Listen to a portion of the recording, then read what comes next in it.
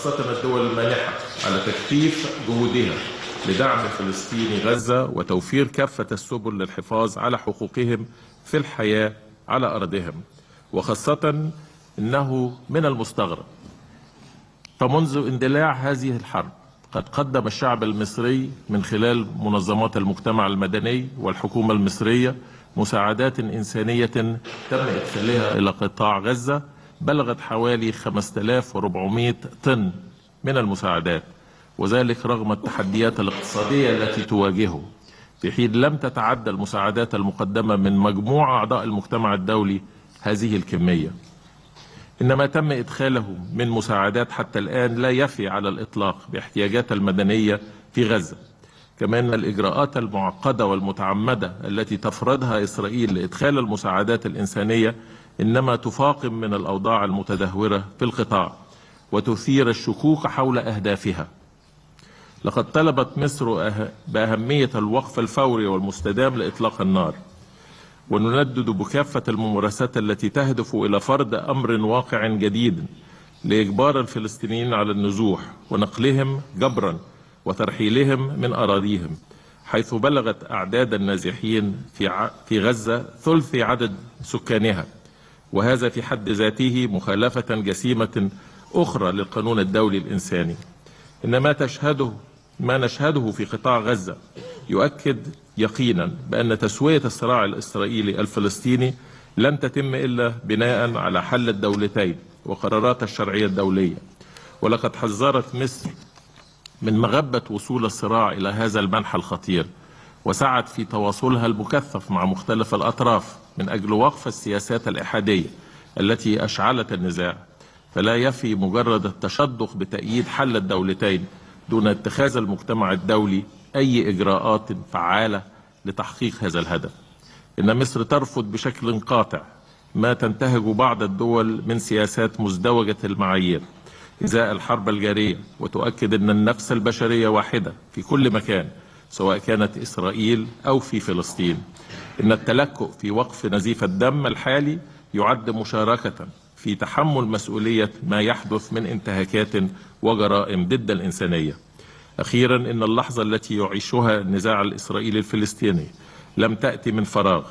فدوائر العنف المفرغة التي أصابت الشعبين الفلسطيني والإسرائيلي دون تمييز إنما هي نتاج سياسات الاحتلال ومراسته من ضم الأراضي وهدم المنازل والعمل على الفصل بين الضفة الغربية وقطاع غزة وتجاهل الحقوق الفلسطينية لأكثر من سبعين عاما.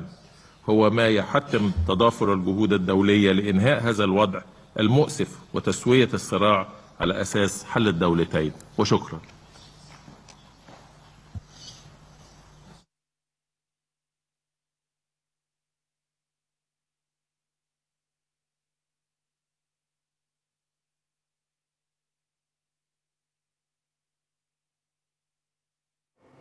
إذا مشاهدينا الكرام تابعنا مع حضراتكم هذا الجانب من كلمة وزير الخارجية المصري سامح شكري في إطار مشاركته في مؤتمر باريس لتنسيق المساعدات الإنسانية الذي تحتضنه العاصمة الفرنسية على مدار الساعات المتتالية لهذا اليوم. الوزير المصري تحدث عن الرؤية المصرية المرتبطة بالصراع الدائري في الأراضي الفلسطينية والعدوان الإسرائيلي الذي دخل يومه الرابع والثلاثين على سكان قطاع غزة وقال إن ما تقوم به السلطات الإسرائيلية يتجاوز مفهوم الدفاع عن النفس. وأشار إلى أن المساعدات الإنسانية التي تدخل إلى القطاع إلى قطاع غزة لا تلبي الاحتياجات الكاملة للمواطنين المدنيين في قطاع غزة وإن السلطات المصرية تكفلت منفردة بما يزيد على 5400 طن من المساعدات الإنسانية والإغاثية والطبية جرى إدخالها إلى داخل قطاع غزة. ثم حمل السلطات الإسرائيلية مسؤولية ما يجري من دوائر العنف المفرغ الذي يعيشها الفلسطينيون والإسرائيليون على السواء وقال إن هذا إنما كان مرتبط بالسياسات الإسرائيلية التي تمت على مدار الآونة الأخيرة سواء كانت مرتبطة بهدم منازل المدنيين أو بالفصل التعسفي بين قطاع غزة وبين الضفة الغربية. ثم تحدث عن ضرورة الإيمان الكامل كما تؤمن به مصر بضرورة حل الدولتين باعتباره حلا وحيدا لهذا الصراع. وقال في ذات السياق أنه لا يمكن القبول بأن تتبنى بعض الدول نهجا مزدوجا في طريقة تعاطيها مع ما يجري من عدوان إسرائيلي على قطاع غزة. وأشار كذلك إلى النقطة المرتبطة بحل الدولتين عندما قال قال إنه لا يمكن أن يكون هذا المفهوم أو هذا التصور قائما فقط على مستوى التشدق به على مستوى العبارات لكنه يجب أن يترجم من جانب جميع الدول باعتباره حلا وحيدا للصراع الدائري في الأراضي الفلسطينية.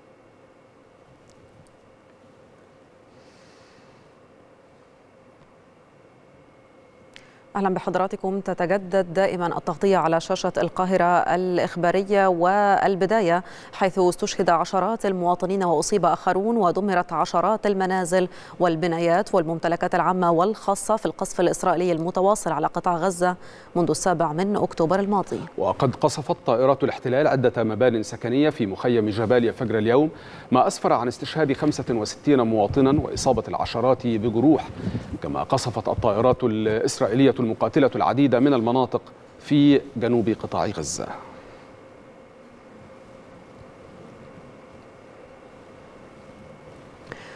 استهدفت طائرات الاحتلال الحربي فجر اليوم محيط مجمع الشفاء الطبي في قطاع غزة بعدة غارات. وقالت مصادر محلية أن القصف المتواصل لمحيط المجمع أدى لسقوط شظايا الصواريخ في ساحة المستشفى. يأتي ذلك تزامنا مع إطلاق قنابل مضيئة في سماء مخيم الشاطئ. وأضافت أن طائرات الاحتلال قصفت كذلك محيط مستشفى النصر ما أدى لاستشهاد ثلاثة فلسطينيين وإصابة العشرات.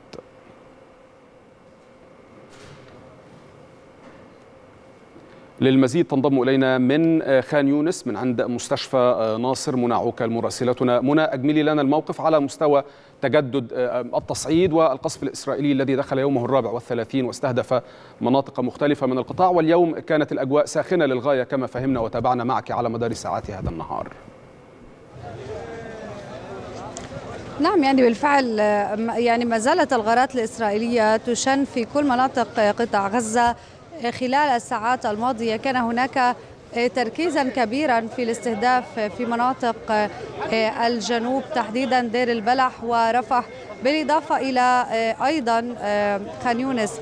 عمليا قبل خلال الساعة الأخيرة كان هناك ثلاث استهدافات في منطقة خان يونس في منطقة شارع القرارة تحديدا.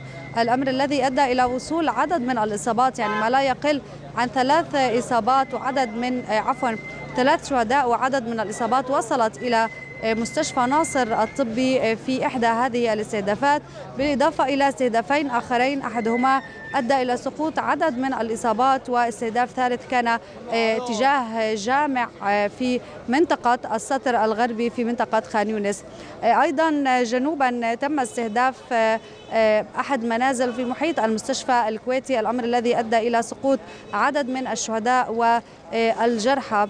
عمليا أيضا قبل قليل كان هناك يعني معلومات حول استهداف جديد في منطقة دير البلح. ما تعرف بشارع البركة في هذا ال ال الاستهداف أيضا كان هناك يعني وما زال محاولة لانتشال عدد من الضحايا ما بين الشهداء وجرحى جراء هذا الاستهداف لمنزل في منطقة شارع البركة في دير البلح. أيضا استهداف آخر كان في محيط مستشفى شهداء الأقصى في منطقة دير البلح. الأمر الذي أدى إلى سقوط عدد من الإصابات. عمليا هذا فيما يتعلق في مناطق الجنوب جنوب الوادي. أما في مناطق شمال قطاع غزة فتبدو المعركة هناك إلى حد كبير يعني مختلفة. الاستهدافات عشوائية يستخدم جيش الاحتلال الإسرائيلي القنابل الفسفورية في هذه الأثناء في محيط منطقة أنصار بكثافة شديدة. هذا بالإضافة إلى استهداف مناطق منطقة الشاطئ منطقة الرمال من جديد مناطق الشرقية الشجاعية و الزيتون ومنطقة التفاح هذا بالإضافة إلى المناطق الشمالية منطقة محيط المستشفى الأندونيسي بالإضافة إلى منطقة بيت لاهيا. إذا وهذا بالإضافة إلى أنه جميع المناطق الغربية من شمال قطاع غزة إلى جنوبه مستهدفة من قبل البوارج الحربية الإسرائيلية التي تتمركز على طول الشاطئ ويعني يعني تطلق نيران رشاشاتها تجاه أي شيء يتحرك على طول شارع الرشيد الساحلي بالإضافة إلى يعني بعض الاشتباكات في تلك المنطقة تركزت تحديدا في مناطق الجنوب في خان يونس ورفح شواطئ خان يونس ورفح. أما في مناطق غزة والشمال أيضا في محور ما يعرف بدوار السبعة عشر بالإضافة إلى منطقة الشاطئ. عمليا هذه أهم المحاور التي تدور فيها الاشتباكات الآن بين الفصائل الفلسطينية و قوات جيش الاحتلال الإسرائيلي المتوغلة. أيضا فيما يتعلق بالحدود الشرقية يعني تشهد هذه الحدود عدد من المناطق التي يعني يعني الآن تجري فيها اشتباكات ما بين فصائل الفلسطينية وجيش الاحتلال الإسرائيلي التي الذي ما زال يحاول أن يعني يتقدم بآلياته العسكرية داخل مناطق قطاع غزة ولكن يعني على ما يبدو بأنه هذه الاشتباكات تؤدي إلى عرقلة التحرك تحرك جيش الاحتلال داخل أراضي قطاع غزة حتى بمناسبة هذه النقطة منى بمناسبة التوغلات التي حتى الآن ما زلنا نسمع إليها هل بدت الصورة واضحة فيما يخص عمليات التوغل هذه على محدوديتها أو على بطئها إلى أين وصلت وكيف تجابه في أي المناطق تحديدا؟ نعم يعني ما هو معروف الآن لدى الجميع بأنه يعني الآليات العسكرية الإسرائيلية تجاوزت منطقة الشمال وصولا إلى نقطة أو في منطقة التوام هناك تمركز عمليا واشتباكات تدور على مدار الساعة منذ أيام وحتى اللحظة. في المناطق الغربية هناك محورين أساسيين.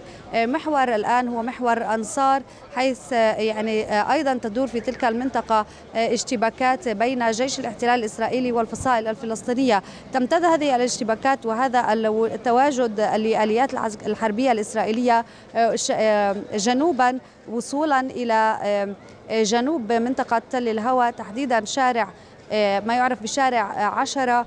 أيضا هناك تتمركز آليات عسكرية وتدور اشتباكات.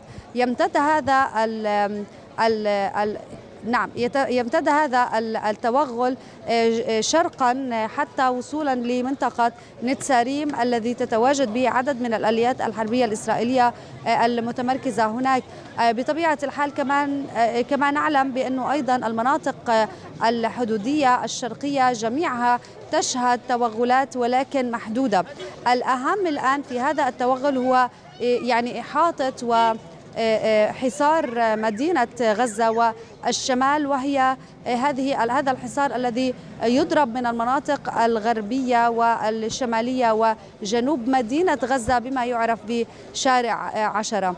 الآن داخل شوارع قطاع غزة يعني هناك تحركات محدودة للآليات الحربية الإسرائيلية نظرا لجغرافية المكان ونظرا لأيضا الاشتباك هذا في المناطق التي قصفت منى أو المناطق التي تضررت في أيام القصف الأولى والتي أصبحت تقريبا مناطق خاوية بالكامل هذا هو جوهر التقدم الإسرائيلي على الأقل وفق ما نفهم بهذه الآليات حتى لو كان الهدف هو تطويق مدينة غزة نعم. من محاور التقدم تأتي في مناطق مختلفة عن هذه نعم صحيح. يعني بطبيعة الحال هذا ما يجري فعلا. يعني قوات الاحتلال الإسرائيلية على ما يبدو بأنها خلال استهدافاتها الأيام الماضية كانت تحاول أن تمشط مناطق بأكملها وما زالت تفعل ذلك بالمناسبة. يعني الاستهدافات المتكررة والتي ما زالت مستمرة حتى الآن في منطقة مخيم الشاطئ هي محاولة لكشف الطريق محاولة للتأكد من عدم وجود ما يمكن أن يعرقل عمل جيش الاحتلال الإسرائيلي من جيش الاحتلال الإسرائيلي. هذا بالإضافة إلى يعني عمليا يعني التأكد من إنه المكان من الممكن أن يكون آمن لجنود الاحتلال عند دخولهم المنطقة، اذا هي استراتيجية باتت واضحة وهي محاولة تمشيط المنطقة بشكل كامل، الآن حتى بالنسبة لمن يعني يعيش هنا ويراقب ما الذي يحدث أصبحت الآلية شبه واضحة وهي الطلب من السكان إخلاء المنطقة بشكل كامل ثم إطلاق قذائف فسفورية وقذائف واستهدافات عشوائية بعد بعدما يتم إخلاء المنطقة إلى حد ما تقصف المنطقة بالكامل ويتم مسح مربعات كاملة قبل الدخول إلى تلك المنطقة. إذا هي سياسة الأرض المحروقة التي تحاول من خلالها إسرائيل أن تمشط مناطق بأكملها تمهيدا لدخول البري لجيش الاحتلال الإسرائيلي. هذا ما يجري الآن وحتى الآن يعني. وما زالت يعني قوات الاحتلال الإسرائيلية تستمر في استخدام هذا النهج في مناطق إضافية حيث تريد أن تدخل أو تخطط نعم. للدخول والوصول إلى نقاط معينة داخل مدينة غزة. منى عوكل مراسلتنا على الهواء مباشرة من أمام مستشفى ناصر في خان يونس في قطاع غزة. أشكرك. شكرا جزيلا. أكد رئيس الوزراء الإسرائيلي سابقا يهود أولمرت أن رئيس الحكومة الحالي بنيامين نتنياهو يفتقر إلى التفكير الرصين ويشكل خطرا على إسرائيل. ونقلت صحيفة بوليتيكو الأمريكية عن أولمرت قوله إن خطة نتنياهو للحفاظ على السيطرة الأمنية على قطاع غزة بعد انتهاء الحرب الجارية هي خاطئة تماما. مشيرا إلى أن الوقت قد حان لاستئناف المحادثات التي تؤدي إلى إقامة دولة فلسطينية بدلا من التفكير في السيطرة الأمنية على القطاع وفق تعبيره.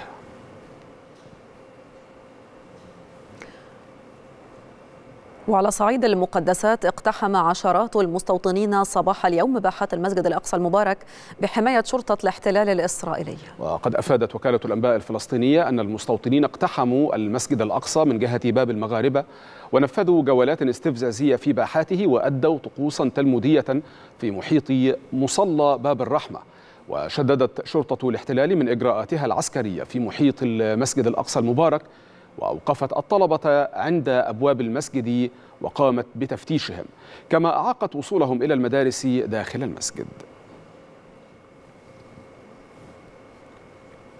تنضم إلينا من القدس المحتلة دانا أبو شمسية مراسلة القاهرة الإخبارية. دانا إذا كان هناك حالة تخبط لدى إسرائيل فيما يخص هذه المرحلة الراهنة مرحلة الحرب يبدو أن التخبط أكبر بكثير وأكثر بكثير بعد انتهاء هذه الحرب. ما صدى تصريحات إيهود أولمرت عندما قال إن خطة نتنياهو للحفاظ على السيطرة على القطاع بعد انتهاء هذه الحرب هي خاطئة تماما؟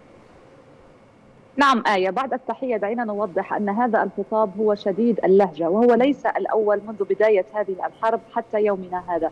في السادس عشر من أكتوبر كان يهود أولمرت قد خرج وحمل نتنياهو مسؤولية الإخفاق والفشل الاستراتيجي وهجوم السابع من أكتوبر وقال بأن نتنياهو كان قد أخفق في التعامل مع قطاع غزة ومع حماس وكانت هنالك تحذيرات أمنية واستخباراتية بأن هنالك حرب ستكون ضارية ستكون وتتقدم فيها حماس ولكن نتنياهو لم يستمع إلى كل هذه التحذيرات الأمنية. لذلك هذه التصريحات الجديدة كانت شديدة اللهجة بل وصفه بكلمات يعني أكثر من المرات السابقة. قال بأنه يعاني من انهيار عصبي نتيجة خوفه من الإطاحة فيه بعد انتهاء هذه الحرب خاصة مع تقدم الاستطلاعات ويعني القول بأن 76% من الإسرائيليين يريدون من نتنياهو الاستقالة. لذلك وصف نتنياهو بأنه قلق عدم الاتزان النفسي والانهيار العصبي نتيجة كل هذه الضغوطات ونتيجة فشله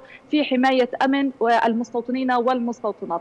وقال بأنه يعني يعاود الرجوع إلى الوراء وإدارة عقارب الساعة إلى الوراء عند الحديث عن السيطرة العسكرية على قطاع غزة وبأن الأولى على نتنياهو بأن يكون مع المجتمع الدولي لحل هذه الأزمة متمثلة في إقامة الدولتين أو حل الدولتين أو إعادة المفاوضات من جديد لإقامة الدولة الفلسطينية بعاصمتها القدس الشرقية كما هي المفاوضات من قبل. وقال بأن عودة السيطرة العسكرية هي آخر شيء تريد الحكومة الإسرائيلية ولا ينبغي على نتنياهو أو على المنظومة الأمنية العسكرية التفكير في هذا النطاق أو في هذه في هذا الخيار عفوا بعد انتهاء الحرب.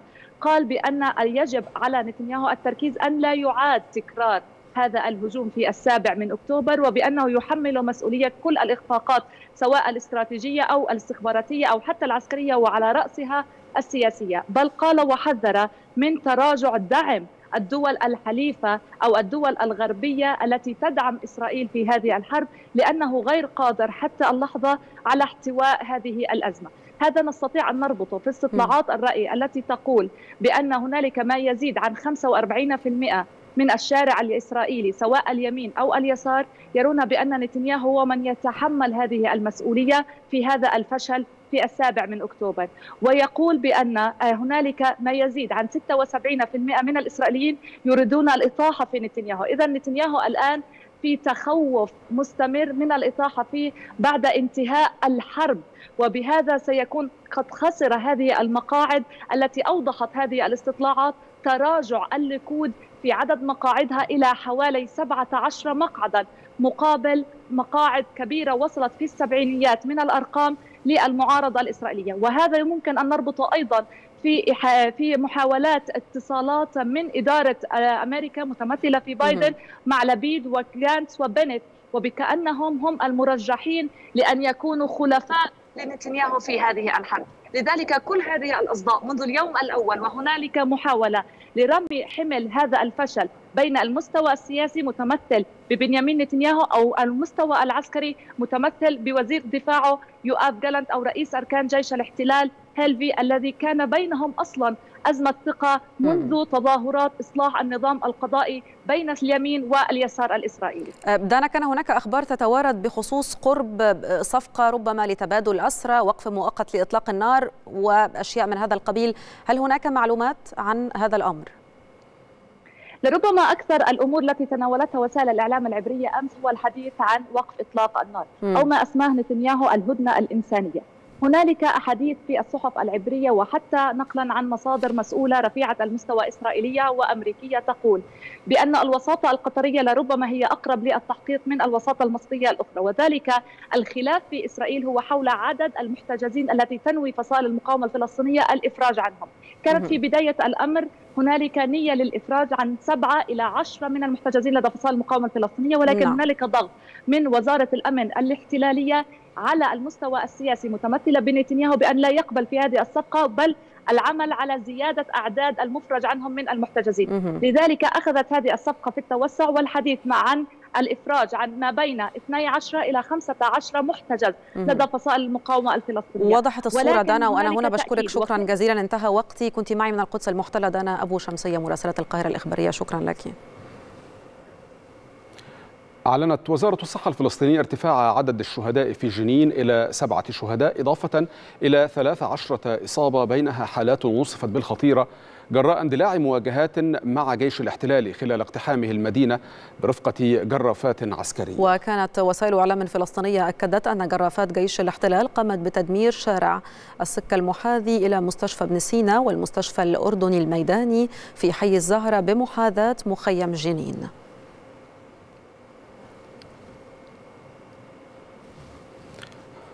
ولاء السلامين مراسلتنا من رام الله ولاء هل من تفسير هل من تبرير يمكن أن يبدو مقبولا أو مستس أو مفهوما حتى على الأقل لهذه الهجمة الشعواء التي تستهدف مدن الضفة الغربية وتحديدا نتحدث عن جنين ومخيمها؟ لا يوجد أي مبرر بطبيعة الحال لما يحدث في الضفة الغربية سوى الانتقام من كل الفلسطيني سواء في قطاع غزة أو حتى في الضفة الغربية. وعندما تحدث أنتوني بلينكن بأنه يعني يشكر الرئيس محمود عباس للهدوء في الضفة الغربية لا سيما أنه لن يطلع أو لم يكن مطلع عما يحدث في الضفة الغربية ولكن جزء من هذا الاطلاع كما تحدث به الرئيس محمود عباس عن هجمات المستوطنين على المواطنين الفلسطينيين في الضفة الغربية. من جهة أخرى ما نتحدث عنه الانتقام من قوات أو الانتقام من جيش الاحتلال من المواطنين في الضفة الغربية بما يحدث في قطاع غزة وأيضا المنجزات التي تقوم بها المقاومة الفلسطينية في القطاع. يكون ذلك بالانتقام من الفلسطينيين في الضفة الغربية. فمثلا منذ ليلة أمس ولغاية فجر هذا اليوم نتحدث عن سلسلة من الاقتحامات من الشمال وحتى الجنوب. تمثلت باقتحامات وتكسير والعبث بالمحتويات للمنازل وأيضا اعتقالات بالجملة كانت ولربما هي الأقل مقارنة منذ السبع من أكتوبر ولغاية الآن.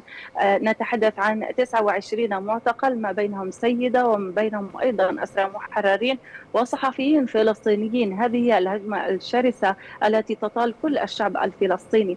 نتحدث أيضا عن ارتفاع أعداد المعتقلين لدى قوات الاحتلال إلى 2280 لغاية الآن. طيب ولا على مستوى الاستهدافات؟ أكانت استهدافات بالتصفية واستشهاد المواطنين في جنين أو في مدن الضفة المختلفة أو على مستوى عمليات الاعتقال التعسفية التي تقوم بها سلطات الاحتلال. هل هي مؤسسة أو بالدرجة الأولى على بعض الذين أظهروا تعاطفا مع الفصائل الفلسطينية في قطاع غزة ضد العدوان الإسرائيلي؟ أم كانت تستهدف بالدرجة الأولى بعض أفراد الكتائب هناك وتحديدا كتيبة جنين؟ هل هل كان هناك أسس لهذه الاستهدافات؟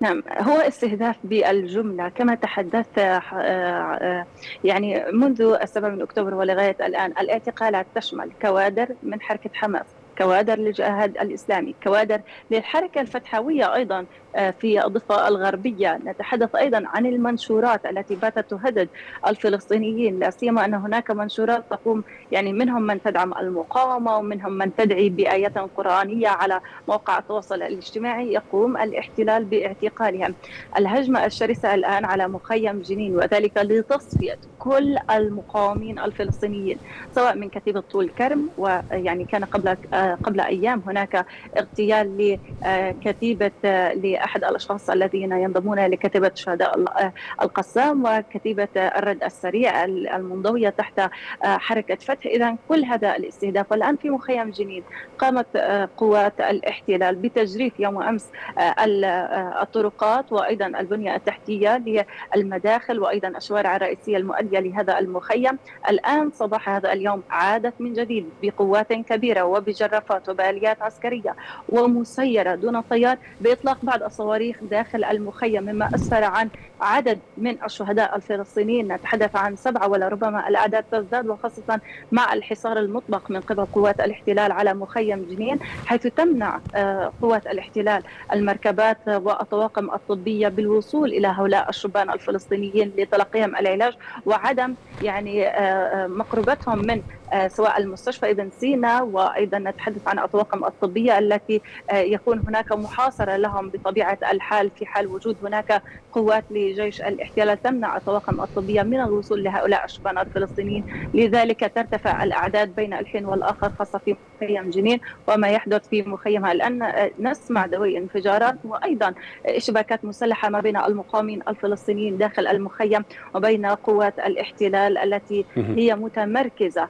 على المدخل الرئيسي لمخيم جنين. إذا هذه الاستهدافات بالجملة تنتقد من كل الفلسطيني ناهيك أيضا عن الهجمة الشرسة داخل معتقلات الاحتلال. الآن التعذيب الوحشي الضرب المبرح. أيضا نتحدث عن عري لهؤلاء الأسرى وتصويرهم بطريقة غير لائقة وغير إنسانية مما يتيح المجال لقوات الاحتلال وجيش الاحتلال للانتقام منهم بتلك الفيديوهات. وأيضا نتحدث عن أكثر أكثر من 75 سيدة الآن داخل معتقلات الاحتلال حيث يكون الضغط باتجاه هؤلاء السيدات لتسليم ذويهم أو حتى الضغط على ذويهم لتسليم أنفسهم تحت هذا الضغط النفسي وأيضا نعم نتحدث عن الابتزاز الابتزاز سواء النفسي أو الابتزاز الجنسي الذي تقوم به قوات الاحتلال على هؤلاء السيدات والفتيات الذين يتم اعتقالهم من داخل بيوتهم. ولا سلامين مراسلتنا على الهواء مباشرة شكرا جزيلا لك كنت معنا من رام الله. يتواصل دخول الشاحنات التي تحمل مساعدات إلى قطاع غزة عبر معبر رفح. ويعمل الهلال الأحمر المصري بالتنسيق مع نظيره الفلسطيني لدعم سكان القطاع. كان المعبر قد استقبل العشرات من مزدوجي الجنسية من الجانب الفلسطيني.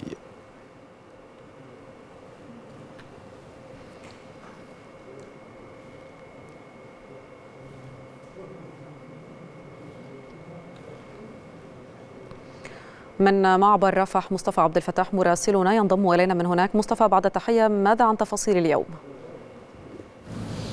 نعم يعني جديد المشهد هنا في منفذ رفح البري حيث استقبل المنفذ منذ دقائق معدودة دفعة جديدة من حالات الجرحى والمصابين القادمين من قطاع غزة.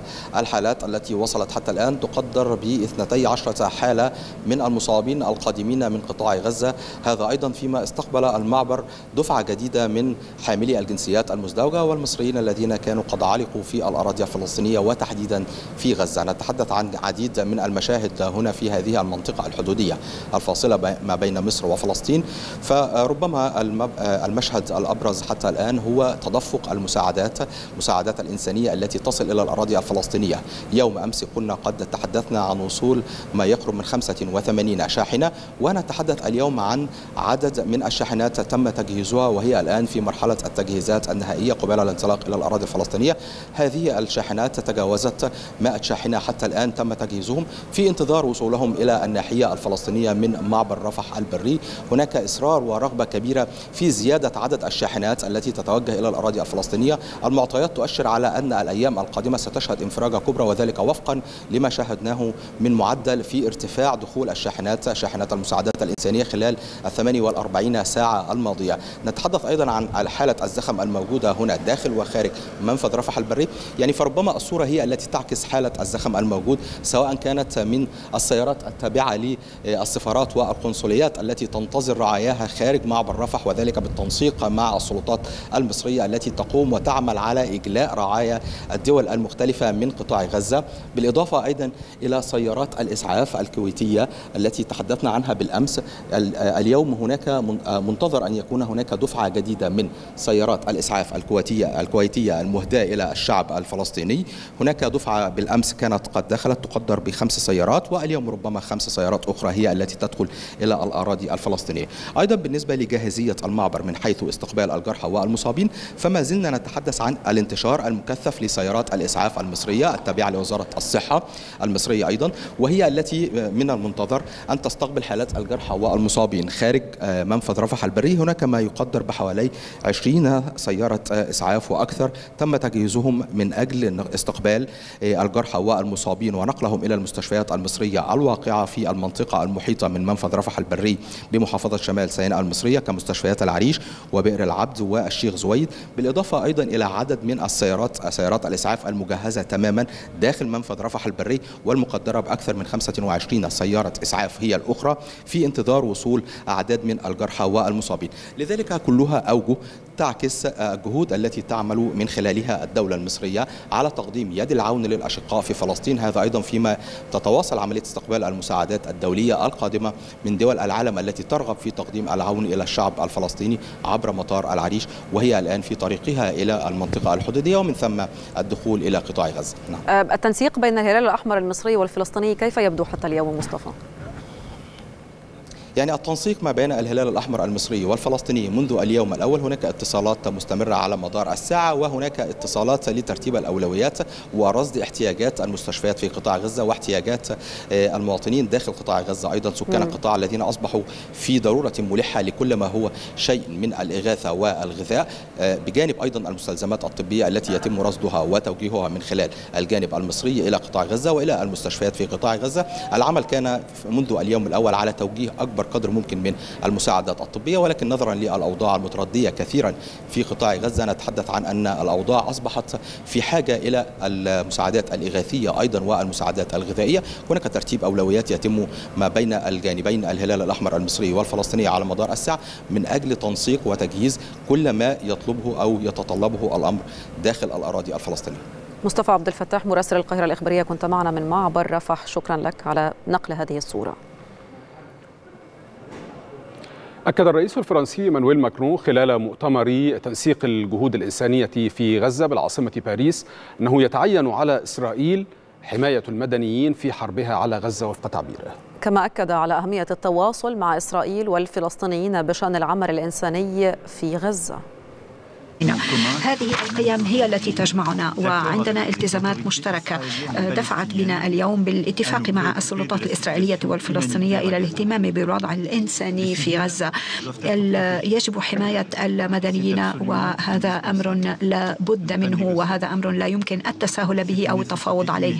هذه ضرورة ملحة وطارئة وفي المدى الأطول هذا شرط من شروط فعالية مكافحة الإرهابيين. اليوم الوضع خطير ويتدهور أكثر يوما بعد يوم. فورا يتعين علينا أن نعمل على حماية المدنيين. يجب أن تكون هناك وقفة إنسانية سريعا جدا وعلينا أن نعمل من أجل وقف إطلاق النار. ووقف إطلاق النار يجب أن يكون ممكنا. يتعين علينا أن نخلق الفضاء والحيز المناسب ليتمكن العاملون الإنسانيون من العمل في غزة ويتعين علينا أن نفعل ذلك بروح من التوافق وعلى أساس أن الهدف الذي نعمل من أجله إضافة إلى المأساة التي يعيشها الإسرائيليون والفلسطينيون هو أن نطلق مبادرة سلام وأمن للجميع في الشرق الأوسط من باريس ينضم إلينا مراسلنا خالد شقير خالد قبل أن نخوض في بعض التفاصيل المرتبطة بمخرجات هذا المؤتمر أو على الأقل بما يمكن أن يلخص منه هل لمست أي تغيرا أو تبدلا ما في اللهجة الفرنسية تجاه ما يجري في قطاع غزة؟ نعم أحمد بعد التحية الحقيقة بالفعل هذا المؤتمر هو أكبر دليل بتغير الموقف الفرنسي الذي منذ البداية أحمد كان مساندا لإسرائيل وأعطى إسرائيل الحق في الدفاع عن نفسها. إلا أن بعد جولة الرئيس الفرنسي في المنطقة ولقائه بالرئيس السيسي. اللهجة تغيرت بنسبة كبيرة حسب المحللين السياسيين لأن الرئيس الفرنسي أدرك وضع في الاعتبار التحذيرات التي حصلوا عليها في زيارته للمنطقة وبصفة خاصة في القاهرة من أن يمكن أن تنشأ نزاع إقليمي في هذه المنطقة. وبالتالي فرنسا التي خطرت كثير من مكانتها في منطقة الساحل في في إفريقيا. يمكن أن تخسر أيضا تخسر أيضا مصالحها في منطقة الشرق الأوسط ومنطقة الخليج وهذا فسر الكثير من الزيارات المكوكية لوزيرة الخارجية كاترين كولونا للمنطقة وأيضا إلى منطقة الخليج العربي. ثم جاءت هذه الدعوة التي هي في إطار المنتدى الدولي للسلام التي تحتضنه تحتضنه فرنسا يوم الغد وبعد الغد. أحمد جاء هذا المؤتمر وهو مؤتمر الإنساني حيث أعرب الرئيس الفرنسي أن حتى ولو كان لإسرائيل الحق في الدفاع عن نفسها فلن يكون هذا الحق على المدنيين حيث تشهد غزة مجزرة. بالتالي هناك محاولة فرنسية لأخذ موقف أكثر اعتدالا وكان الرئيس الفرنسي إيمانويل ماكرون أحمد قد تحدث مع الرئيس المصري عبد الفتاح السيسي أول أمس وذلك حسب المختصين جاء لتنسيق المواقف حيث أن مصر وفرنسا لهم موقف موحد ازاء هذه القضية سياسيا ألا وهو موقف حل الدولتين الآن. هناك تعاون بين الدولتين في إطار المساعدة الإنسانية وهذا ظهر جليا من خلال إرسال فرنسا لبعض من المستشفيات الميدانية بالتعاون مع مصر لوقوف لعملها على يعني على الحدود في رفح المصرية. خالد فقط قبل أن أعود إليك نتوقف مع هذه الصورة كانت معروضة في جانب من الشاشة وأنت تتحدث لكنها الآن توضع بالصورة الكاملة لأن القصف الإسرائيلي على قطاع غزة دخل مرحلة جديدة تبدو مكثفة للغاية. القصف فيه قدر كبير من العشوائية خلال ساعات هذا النهار ومنذ ساعات الصباح مع أزيز هذه الطائرات طائرات الاستطلاع على ما يبدو التي لا يغيب صوتها تقريبا عن سماء قطاع غزة على مدار العام لكنها أيضا تنشط وبضراوة كبيرة ربما خلال أيام التصعيد. وهذه الموجة من التصعيد قد تبدو لم يشهد لها قطاع غزة مثيلا على مر كل تجارب العدوان الإسرائيلي. هذا الدخان الأسود الكثيف المتصاعد من مناطق مختلفة تبدو هذه المناطق من شمال أو وسط قطاع غزة. ليست معلومة على وجه الدقة لكنها أيضا تظهر قدرا كبيرا من الدخان الكثيف الأسود المتصاعد الذي يشير إلى ضراوة القصف وشدته وربما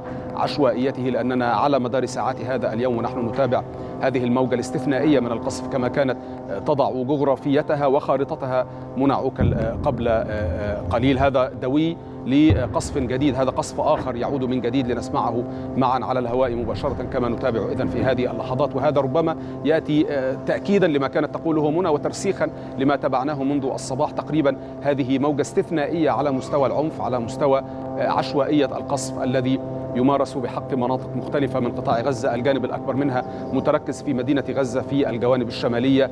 وكذلك في شرق القطاع شرق وشمال القطاع في جانب بينما جنوب القطاع في جانب آخر. الجنوب في حد ذاته أيضا, أيضا لم يكن بعيدا عن هذا القصف. لا يزال دوي هذا القصف والانفجارات. هذا في هذه المرة تبدو الانفجار أو يبدو الانفجار أعنف بكثير من سابقيه على قسوة الانفجارات التي تابعناها. لكن هذه المرة يبدو أن الاستهداف كان عنيفا للغاية.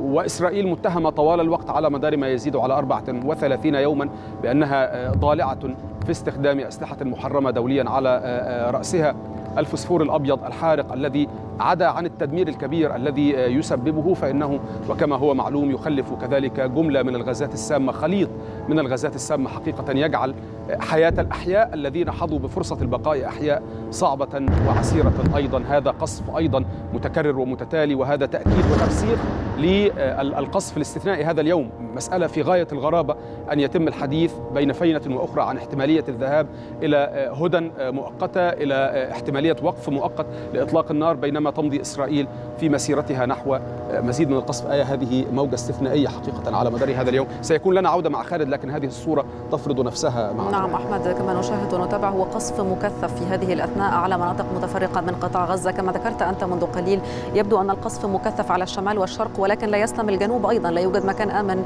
في قطاع غزة ولكن ألسنة الدخان لا زالت تتصاعد في هذه الصورة الحية التي تأتينا من قطاع غزة. كل هذا وأكثر من نصف المستشفيات أحمد خرجت عن الخدمة. كل هذا ولا زال الحصار مستمر على القطاع. لا كهرباء ولا مياه ولا طعام. وكما يقول المحللون يعني إن لم يموت سكان غزة بالقصف فيموتون بالتجويع. وهذه السياسة القاسية التي يتبعها جيش الاحتلال كما نسمع الآن.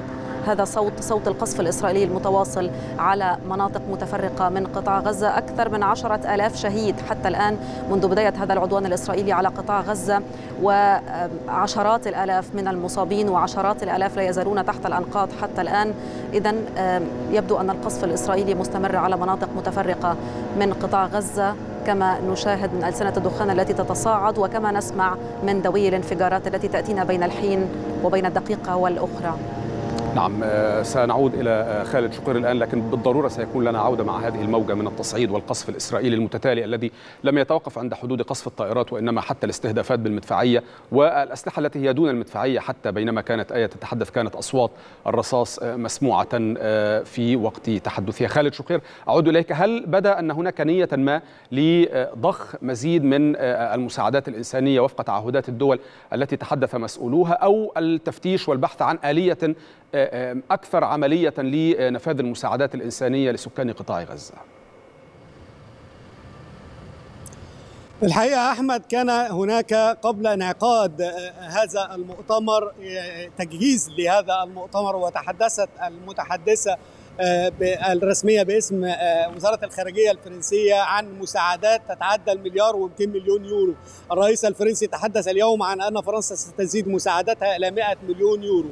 الحقيقة المشكلة اليوم أحمد كما ترى أن الحكومة اليمينية في إسرائيل تجعل الجميع يستشعر الخطر على أمن هذه المنطقة وعلى أمن حتى الدول الأوروبية البعيدة عن المنطقة. لأول مرة ومنذ أنا عملت في هذا المجال لنا مكان مخصص أمام قصر الاليزيه وقوف الصحفيين فيه. تم منعنا اليوم لإجراءات استثنائية أمنية استثنائية. الرئيس الفرنسي استقبل أكثر من 80 ممثل للدول والمنظمات الدولية والمجتمع المدني والشخصيات السياسية ما بين الرئيس ورئيس وزراء ووزراء خارجية من بينهم وزير الخارجية المصري السيد سامح شكري الذي الحقيقة اليوم كان يشعر بالفخر والسعادة لأن كل الكلمات التي تحدث فيها من خلالها الرئيس الفرنسي أو حتى المنظمات الإنسانية أشادت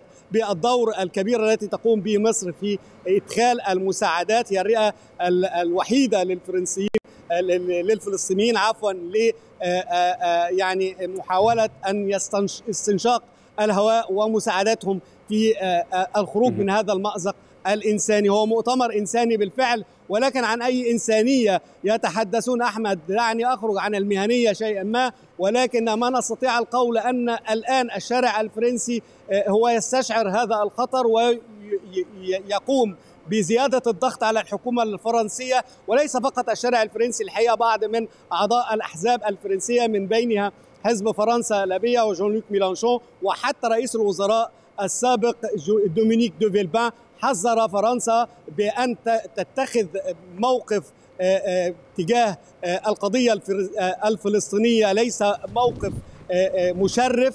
لها ولهذا اليوم نستطيع القول أن الرئيس الفرنسي يحاول أن يرجع خالد دومينيك دي بلفان له انتقادات عديدة على السياسة الفرنسية وعلى السلوك الفرنسي على مستوى السياسة الخارجية وكما يقول هو بنفسه دوما الدوران في الفلك الأمريكي لم تكن له نتائج إيجابية كثيرة على فرنسا. خالد شقير أشكرك حتى الساعة. سيكون لنا عودة معك بطبيعة الحال لمتابعة مستجدات هذا المؤتمر من باريس. خالد شقير شكرا جزيلا لك. يعقد وزراء الخارجية العرب اليوم في الرياض اجتماعا تحضيريا للقمة العربية الطارئة المقررة يوم السبت المقبل لبحث سبل مواجهة التصعيد المستمرة في الأراضي الفلسطينية المحتلة. كان الأمين العام المساعد لجامعة الدول العربية السفير حسام زكي قد أكد في وقت سابق أن القمة العربية الطارئة ستطالب بوقف إطلاق النار في المقام الأول مع اتخاذ موقف سياسي موحد لدعم الفلسطينيين.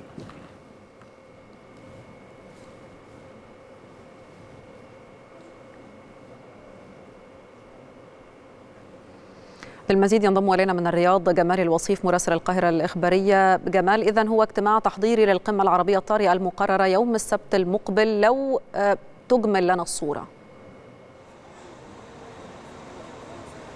بالفعل آية يعني بدأ منذ ساعة ونصف تقريبا الاجتماع التحضيري لوزراء الخارجية العرب. اجتماع في شكله مغلق تماما لا معلومات لا تفاصيل لا أي يعني لا دخول للصحفيين إلى مقر انعقاد هذا الاجتماع. ربما الملف الأهم والملف الأوحد هو القضية الفلسطينية. كان هناك اجتماع لمندوبي الدول في مجلس في جامعة الدول العربية منذ قبل أمس واليوم هو الاجتماع التحضيري لاعتماد المسودة النهائية التي سيتم عرضها على قادة الدول الدول العربية يوم السبت القادم في الدورة الغير عادية المقرر انعقادها في مدينة الرياض. ربما السياسيون يعولون على هذه القمة بشكل كبير لضرورة إيقاف النيران وإيقاف تصاعد الأحداث في غزة وأيضا إدخال المساعدات بشكل عاجل وبشكل فوري إلى قطاع غزة المتضرر بشكل كبير منذ بداية القصف في السابع من أكتوبر الماضي، يعني نحن ننتظر انتهاء الاجتماع التحضيري لوزراء الخارجية العرب. نعرف ماذا سيتم داخل هذا الاجتماع وماذا سيطرح على قادة الدول العربية وأيضا الموقف العربي الموحد تجاه يعني العدوان الإسرائيلي على قطاع غزة. وأيضا إضافة إلى ذلك سيكون هناك اجتماع أيضا منظمة التعامل التعاون الإسلامية عفوا يوم السبت أيضا والذي دعت إليه منظمة التعاون الإسلامية إلى الدول الإسلامية في هذا التوقيت أيضا ليكون يعني موازيا ومواكبا إلى اجتماع مجلس جماعة الدول العربية ولكن هل من خطة أو جدول عمل بدا واضحا لهذه القمة التي تعقد يوم السبت؟ لا حتى هذه اللحظة لم يعلن عن جدول الأعمال ولكن يعني ضمن جدول الأعمال هو القضية الفلسطينية بشكل واحد واتخاذ موقف عربي موحد واليه دعم الجانب الفلسطيني سواء بإدخال المساعدات سواء بإعادة الإعمار في الجانب الفلسطيني بالإضافة أيضا إلى يعني دراسة الحالة كاملة لقطاع غزة ورفض تهجير الفلسطينيين من قطاع غزة سواء إلى الداخل الفلسطيني إلى أو إلى الدول المجاورة. من الرياض جمال الوصيف مراسل القاهرة الإخبارية. شكرا لك على هذه التفاصيل.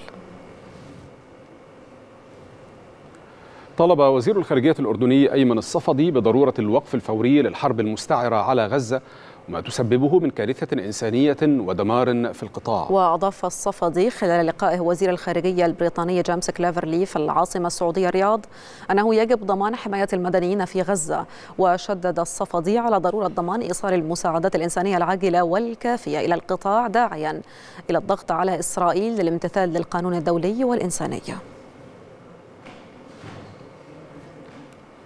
آية السيد مراسلتنا من العاصمة الأردنية عمان تنضم إلينا على الهواء مباشرة. آية ما الذي يتبلور الآن على مستوى الموقف الأردني؟ الذي هو اتخذ ذات المسار تقريبا لكن بنبرات مختلفة. إلى أين وصلت هذه النبرة الأردنية في هذه المرحلة؟ تحياتي لك أحمد. حقيقة يعني النبرة الأردنية أصبحت وتيرتها عالية بعد يعني زيادة الاعتداءات الإسرائيلية في قطاع غزة. يعني خاصة كما أنتم شاهدتم في الفترات الماضية كان هناك العديد من اللقاءات التي بينت بأنه لابد من إيقاف إطلاق النار الفوري في قطاع غزة إلى جانب استمرارية دخول المساعدات. من خلال هذه القمة ولقاءات وزير الخارجية مع نظرائه العرب يعني كان هناك لقاء أيضا مع وزير الخارجية السعودي قبل قليل. تم أيضا التأكيد على أهمية إيقاف إطلاق النار وأيضا ضمان حقوق الفلسطينيين وعدم التهجير القسري. بالأمس أيضا يعني أحمد كان هناك لقاء لوزير الخارجية أيمن الصفدي مع العديد من الصحفيين وأيضا كان هناك لقاء على التلفزيون الأردني الرسمي. تم الحديث حقيقة لأول مرة بوتيرة يبين فيها بأن الأردن مستعد لكافة السيناريوهات في حال كان هناك يعني تجاوز أكثر من إسرائيل بعد يعني عدم التزامها بالقوانين الدولية وقوانين الحرب وعدم اتباع القوانين الإنسانية. بالتالي الأردن اليوم يتحدث بوتيرة تبين بأنه فعلا هناك جريمة لابد من أن تعاقب عليها إسرائيل ولابد من التدخل الدولي السريع من أجل إيقافه. من خلال هذه القمة من المتوقع أن يكون هناك فعلا توصيات تساعد يعني في إنقاذ ما يمكن إنقاذه حاليا في قطاع غزة. إلى جانب ذلك طبعا يعني المساعدات الأردنية لا زالت مستمرة اليوم. كان هناك يعني شاحنات تم تسييرها برا إلى جسر الملك حسين من أجل يعني وصولها إلى الضفة الغربية إلى جانب ذلك هناك العديد من الاتصالات التي يقوم بها العاهل الأردني الملك عبد الله الثاني من أجل دعم قطاع غزة وأيضا إيقاف إطلاق النار. الأردن طبعا أكد أحمد بأنه يعني إسرائيل إذا تعدت وإذا قامت بالتهجير القسري هذا بمثابة إعلان حرب بالتالي الأردن مستعد لكافة السيناريوهات ومستعد لكافة التداعيات التي ممكن أن تقوم بها إسرائيل. وطبعا كما تعلم بأن الأردن في الأساس قام بسحب سفيره من تل أبيب مما يعني بانه أصبح هناك قطع في العلاقات الدبلوماسية فبالتالي الأردن اليوم يتحدث بسيناريو جديد لم يكن معتاد عليه مع الجانب الإسرائيلي وذلك من أجل ضمان حقوق الفلسطينيين وأيضا عودة السلام وعودة يعني يعني المفاوضات من أجل يعني حل الدولتين واقامه دولة فلسطينية وعاصمتها القدس الشرقية. اليوم يعني المقترحات أو التوصيات التي يأتي بها وزير الخارجية الأردني من خلال يعني هذه الدورة الغير عاديه لجامعه الدول العربية في الرياض سيكون هناك يعني العديد من التوصيات كما هي كانت معتادة من التأكيد يعني طبعا استمراريه المساعدات وإيقاف هذه الحرب التي تقوم بها إسرائيل بحق المدنيين. وأيضا عدم اتباع السياسة العسكرية والأمنية لأنها لا تفضي إلى حل وإنما لابد من اتباع عفوا العسكرية والأمنية ولابد من اتباع يعني السياسة وعودة المفاوضات لحل الدولتين من أجل ضمان حقوق الفلسطينيين وعدم تهجيرهم القسري، نعم. آية مسألة التفتيش عن الدوائر الغربية التي يمكن أن تسهم في تشكيل قدر من الضغط على السلطات الإسرائيلية هذه كانت استراتيجية أو فلسفة متبعة من جانب السلطات الأردنية منذ بدء العدوان الإسرائيلي على قطاع غزة. هل لا يزال هناك بقية اتصالات أو أشكال تنسيق أخرى يمكن أن أن يعمد إليها الأردن خلال المرحلة القليلة المقبلة؟ لا زالت يعني الاتصالات مستمرة إن كان على المستوى الملكي أو إن كان أيضا على مستوى يعني وزارة الخارجية. الملك بالأمس كان هناك اتصال مع رئيس وزراء هولندا. مسبقا كان هناك زيارة إلى بروكسل قبل يومين. من خلالها تم التأكيد من أجل أيضا حشد دعم من أجل أن وهذه الوكالة التي تعد يعني الشريان الأساسي في قطاع غزة حاليا بعدما أصبحت هي المناطق الآمنة للنازحين. الأردن حاليا يحاول بأن يكون هناك دعم مستمر للأونر وخاصة بأن هذه الوكالة منذ الحرب كانت تعاني من أزمة مالية والآن مع هذه الأحداث أصبح هناك عجز مالي وأيضا عجز في تقديم الإمكانيات والخدمات يعني يعني يفوق الخيال. بالتالي الملك من خلال الزيارات بالأخص إلى الاتحاد الأوروبي والدول الأوروبية لاحظنا بأنه فعلا هناك تغيير في المشهد وأيضا تغيير في يعني رواية الأوروبيين بأنه فعلا هناك تضامن أصبح واضحا مع قطاع غزة مع فلسطين. من الممكن أن يكون هذا أيضا ورقة ضغط على إسرائيل بعد أن يكون هناك دعم وحشد دولي غربي. مع الدول العربية من أجل إيقاف هذه الحرب وأيضا ضمان حقوق الفلسطينيين وبالأخص أهالي قطاع غزة. نعم. شكرا جزيلا لك يا السيد مراسلتنا على الهواء مباشرة من العاصمة الأردنية عمان. اتهمت سويلا برافرمان وزيرة الداخلية البريطانية شرطة لندن بالانحياز لمسيرة مؤيدة للفلسطينيين بسبب إعطاء الضوء الأخضر للمسيرة المقررة السبت وأشارت برافرمان إلى أن الاحتجاجات المؤيدة للفلسطينيين تستخدم من قبل من وصفتهم بالمتطرفين كمحاولة للسيطرة على شوارع لندن. وكان رئيس الوزراء البريطاني ريشي سوناك قد استدعى قائد الشرطة مارك رولي لشرح سبب منحه الضوء الأخضر لمسيرة مؤيدة للفلسطينيين. مطالبا قائد شرطة العاصمة بضمانات بأن المسيرة ستمر بسلام بالرغم من اعتقال الشرطة لنحو 200 شخص لارتكاب ما وصفت بجرائم الكراهية منذ أحداث السابع من أكتوبر. من العاصمة البريطانية لندن مراسل القاهرة الإخبارية أبو بكر بشير ينضم إلينا الآن. أبو بكر بعد التحية يعني حتى إعطاء الحرية لخروج المسيرات وإيصال صوت الشعب الفلسطيني والذي بدا واضحا على مدار الأسابيع الماضية من خلال خروج المسيرات الحاشدة في العاصمة البريطانية. يبدو أن لندن تتراجع عنه الآن. ما الذي حدث؟ الذي حدث أن وزيرة الداخلية سوالا برافرمان مستمرة في إصدار تصريحاتها. الهوجة كما يصفها المعارضون والمثيرة للجدل.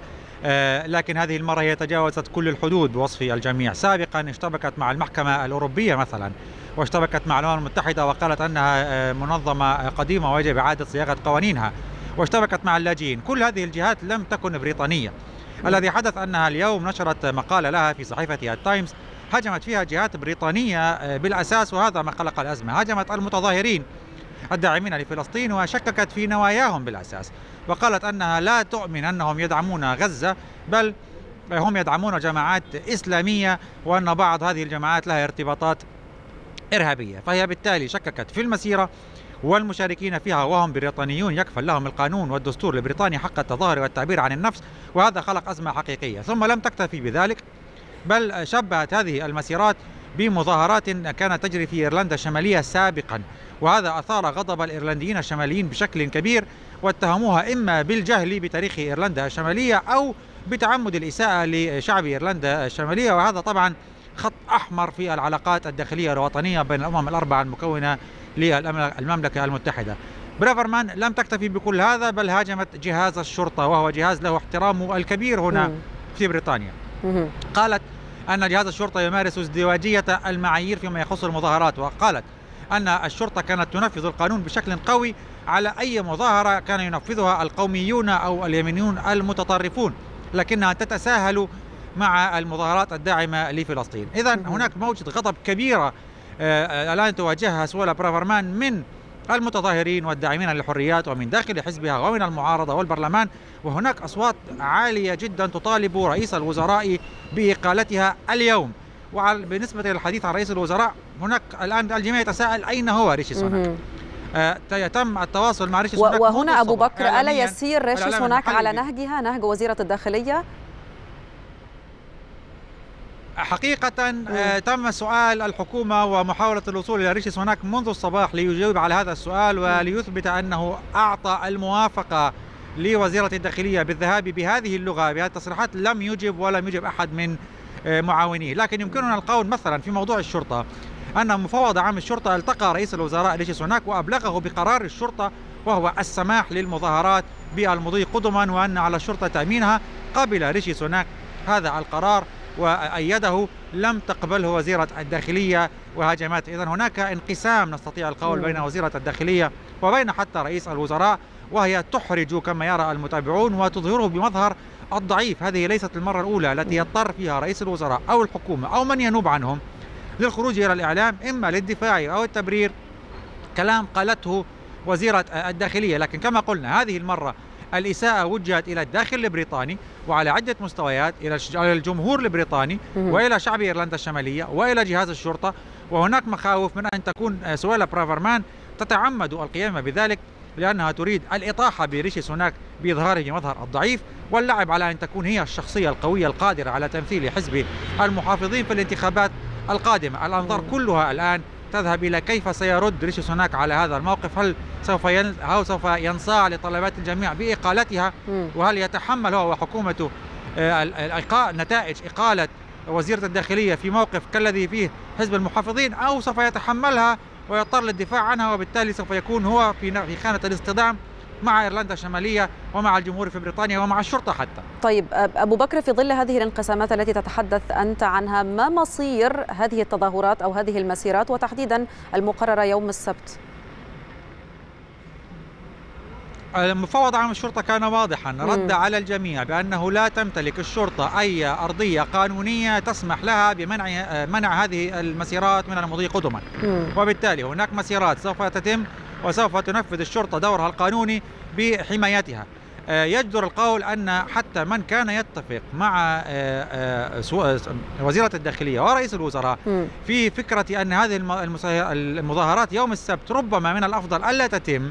كان يتفق على أرضية اختلاف الموعد والمكان. يعني يطالبون أن تنفذ المسيرات في يوم آخر في مكان آخر حفاظا على التقليد القائل بأن يوم الحادي عشر من نوفمبر هناك وقفة دقيقتي صمت ينفذها الجمهور البريطاني إحياء لذكرى الهدنة التي أوقفت الحرب العالمية الأولى هذا هو كل الخلاف ولكن م.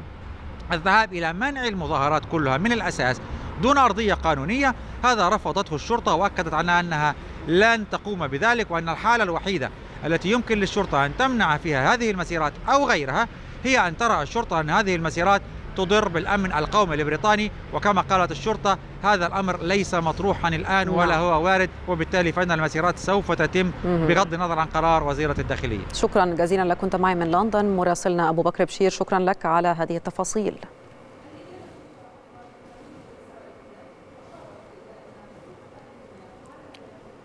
نتحول الآن إلى الأراضي الفلسطينية المحتلة تحديدا إلى الضفة الغربية إلى جنين التي كنا معها قبل قليل وفق ما كانت تنقل لنا الإفادة ولاء السلامين. لكننا نشاهد هذه الموجة من تجدد الاشتباكات بين عدد من الشبان الفلسطينيين وبين قوات الاحتلال الإسرائيلي التي أحدثت توغلات بدت لافتة على مدار الأيام القليلة الماضية وصولا إلى هذا اليوم.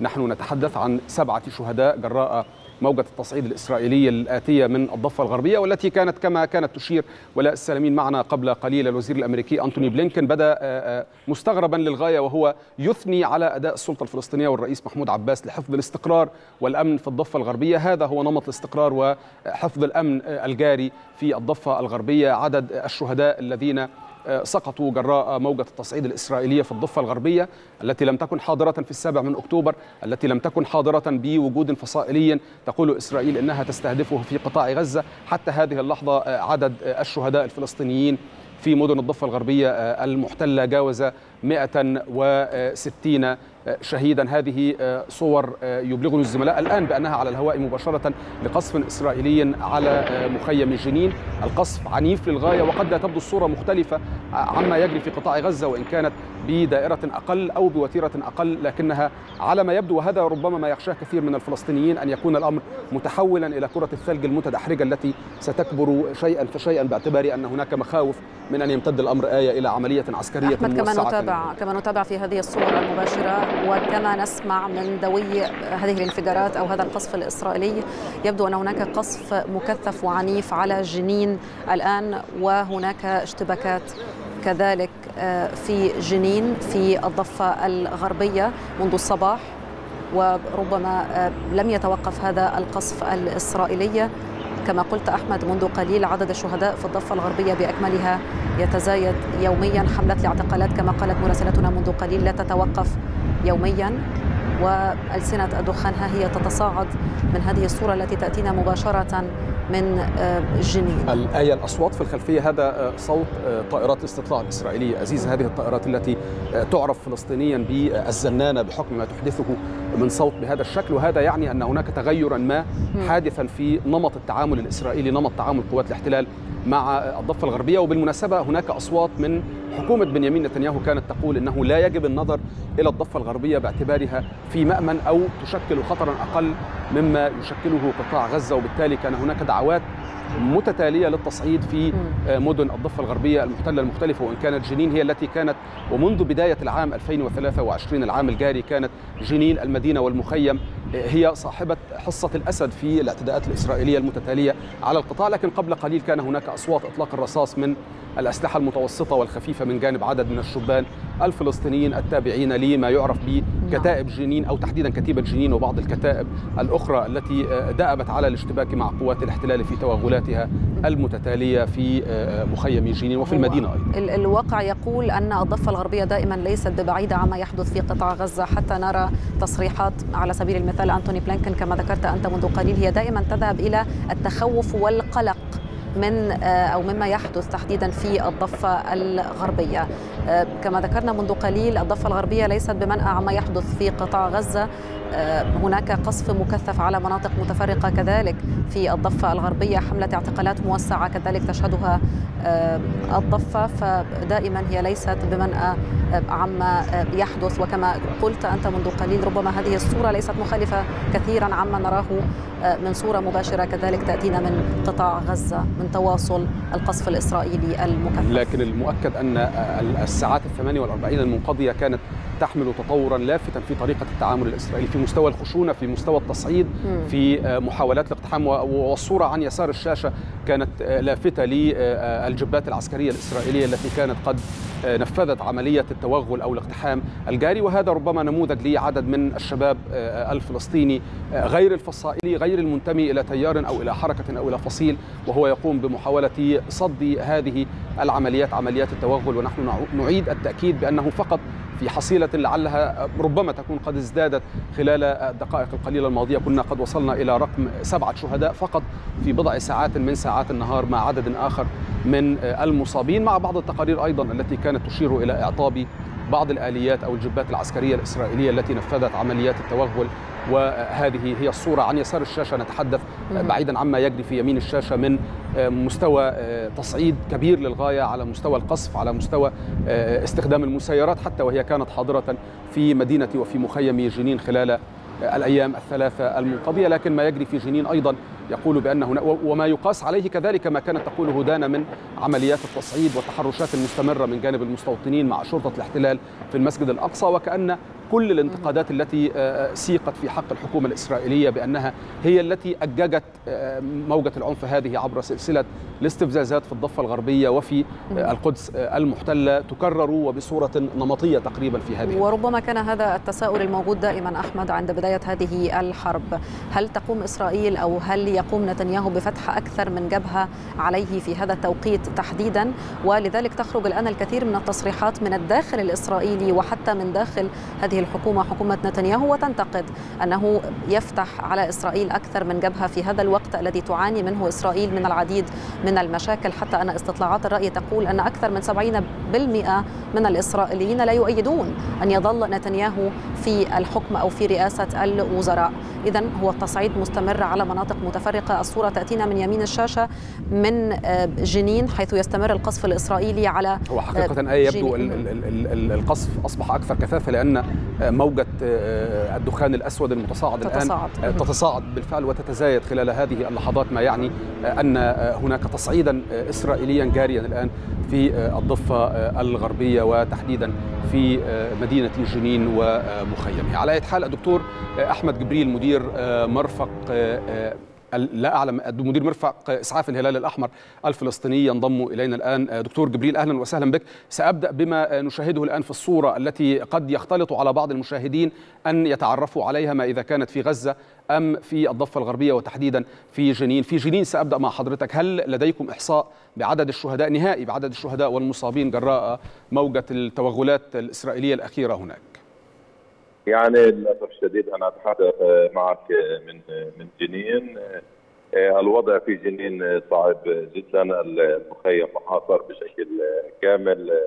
الاستهداف لا زال مستمر مما يؤدي إلى ارتفاع في حصيلة الشهداء وذلك بسبب وجود إصابات خطرة ووصلت إلى المستشفيات. أيضا هناك إصابات داخل المخيم لم لم نستطع الدخول إليها لكن هناك فرق ميدانية تحاول قدر المستطاع مساعدة هؤلاء المصابين وإسعافهم ولكن جيش الاحتلال يمنع معلش دكتور أحمد عدم التمكن من الدخول هذا لأن هناك من يحول بين وصول فرقكم ولا القصف أعنف بكثير من أن يسمح معه بدخول سيارات الإسعاف؟ صحيح جيش جيش الاحتلال يمنع بشكل كامل دخول سيارات الإسعاف إلى المخيم، المخيم محاصر بشكل كامل إضافة إلى أن جيش الاحتلال قام بتخريب البنية التحتية في المخيم ما يصعب دخول سيارات الإسعاف إلى المخيم ولذلك يتم الاستعانة بالفرق الإسعاف الميدانيين لتقديم الإسعاف اللازم لكن الوضع لا زال خطر جدا في جنين. ونحن نتحدث عن شيء أخطر وهو أن الدخول كان بفترة ساعات الصباح الكل يعلم أن طلاب المدارس كانوا داخل المدارس ولا زالوا داخل المدارس هذا ما يؤثر يؤدي إلى تخوف من التعرض إلى أحد المدارس الأطفال داخل المدارس الطلاب لا زالوا على مقاعد الدراسة ولا زال الاقتحام للمخيم مستمر عدد الشهداء بارتفاع بشكل مستمر والإصابات مرتفع. أيضا سيارات الإسعاف يتم الاعتداء عليها تم إطلاق الرصاص بشكل مباشر على سيارة إسعاف أدى إلى إصابة ضابطه إسعاف تعمل لدى جمعية الهلال الأحمر برصاص حي في منطقة الظهر خرجت من البطن لا زال وضعها خطر في المستشفى. هناك أيضا إصابة لسائق إسعاف في اليد شظيه كل شيء مستهدف. أيضا سيارات الإسعاف يتم تفقيدها وإعاقتها ما يقارب نصف ساعة لكل سيارة تتحرك في محيط المخيم. يتم تفتيشها بشكل دقيق والاعتداء على الطواقم بشكل بهمجية وبألفاظ سيئة. دكتور أحمد هو أصلا هل لديهم في جنين أي احتياجات معيشية تكفيهم في هذه الفترة حتى؟ يعني الوضع في جنين الكل يعلم أن جنين تتعرض إلى هجمة منذ ما يقارب عام ونصف. م. البنية التحتية داخل المخيم مدمرة بشكل كامل.